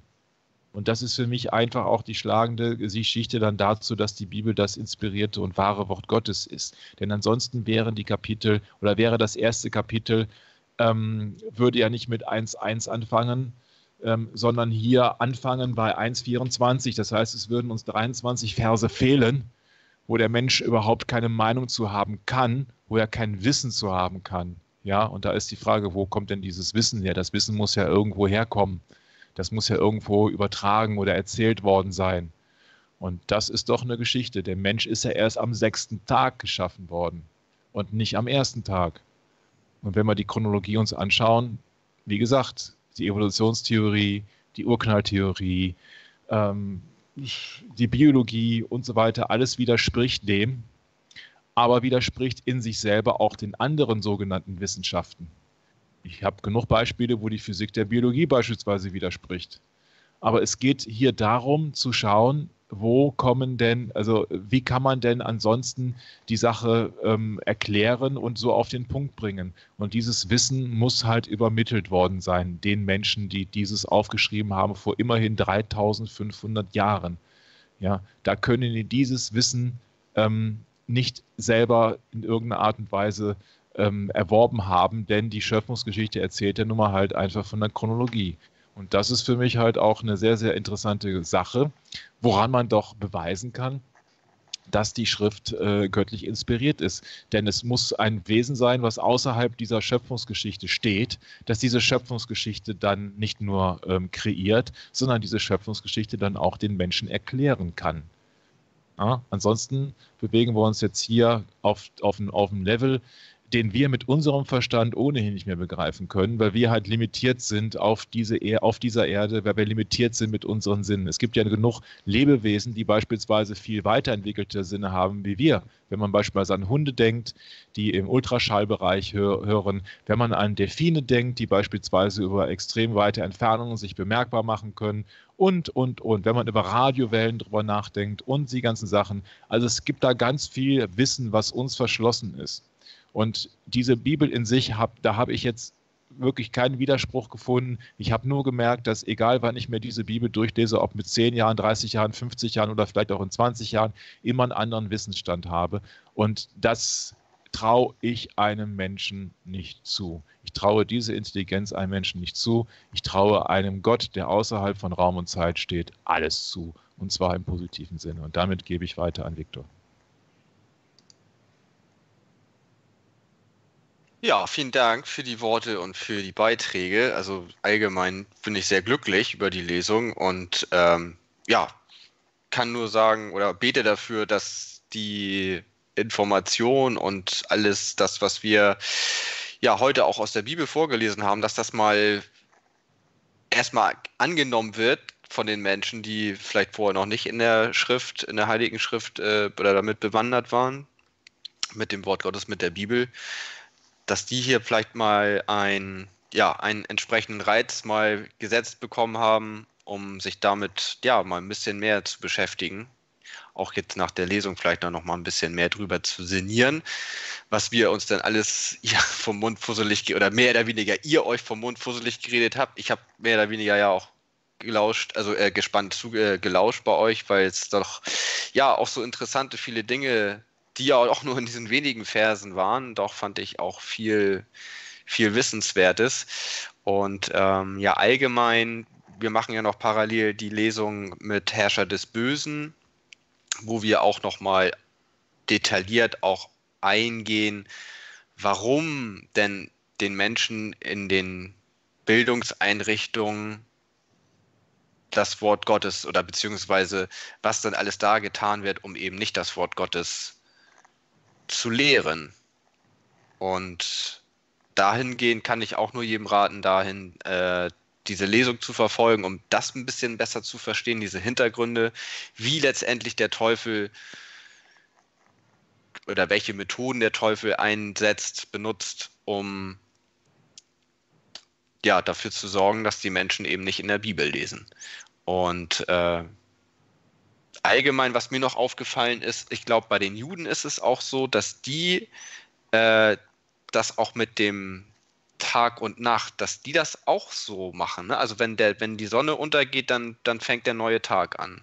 Das war, glaube ich, noch Korrekt, meine, ja. meine Information. Richtig, richtig. Das ist ja, biblisch aber, eben, ne? das ist und das ist ja auch biblisch. Ja, ja, und, und es ist ja auch in diesen ersten Tagen jetzt, wir sind jetzt ja bis Tag 6 gekommen, es steht ja auch nichts drin von wegen, das ist jetzt der Montag, das ist der Dienstag oder, ne, also wir sehen ja hier auch schon, dass der himmlische Vater hier nicht irgendwelche äh, Namen oder was dergleichen ordiniert hat.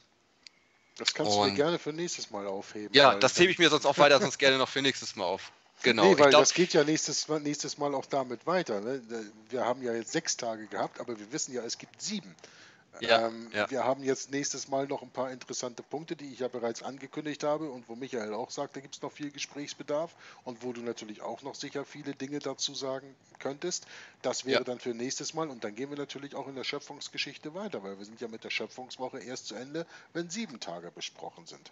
Von daher lauft man nicht voraus, sondern lasst die Leute mal ein wenig mit dem Cliffhanger sitzen. Ne? Ja, alles klar. Gut, dann machen wir das so auf die Art und Weise. Ja, ich werde mich dann auch wieder freuen, aufs nächste Mal von euch zu hören. Und äh, ja, ich sage dann auch Tschüss und bis zum nächsten Mal.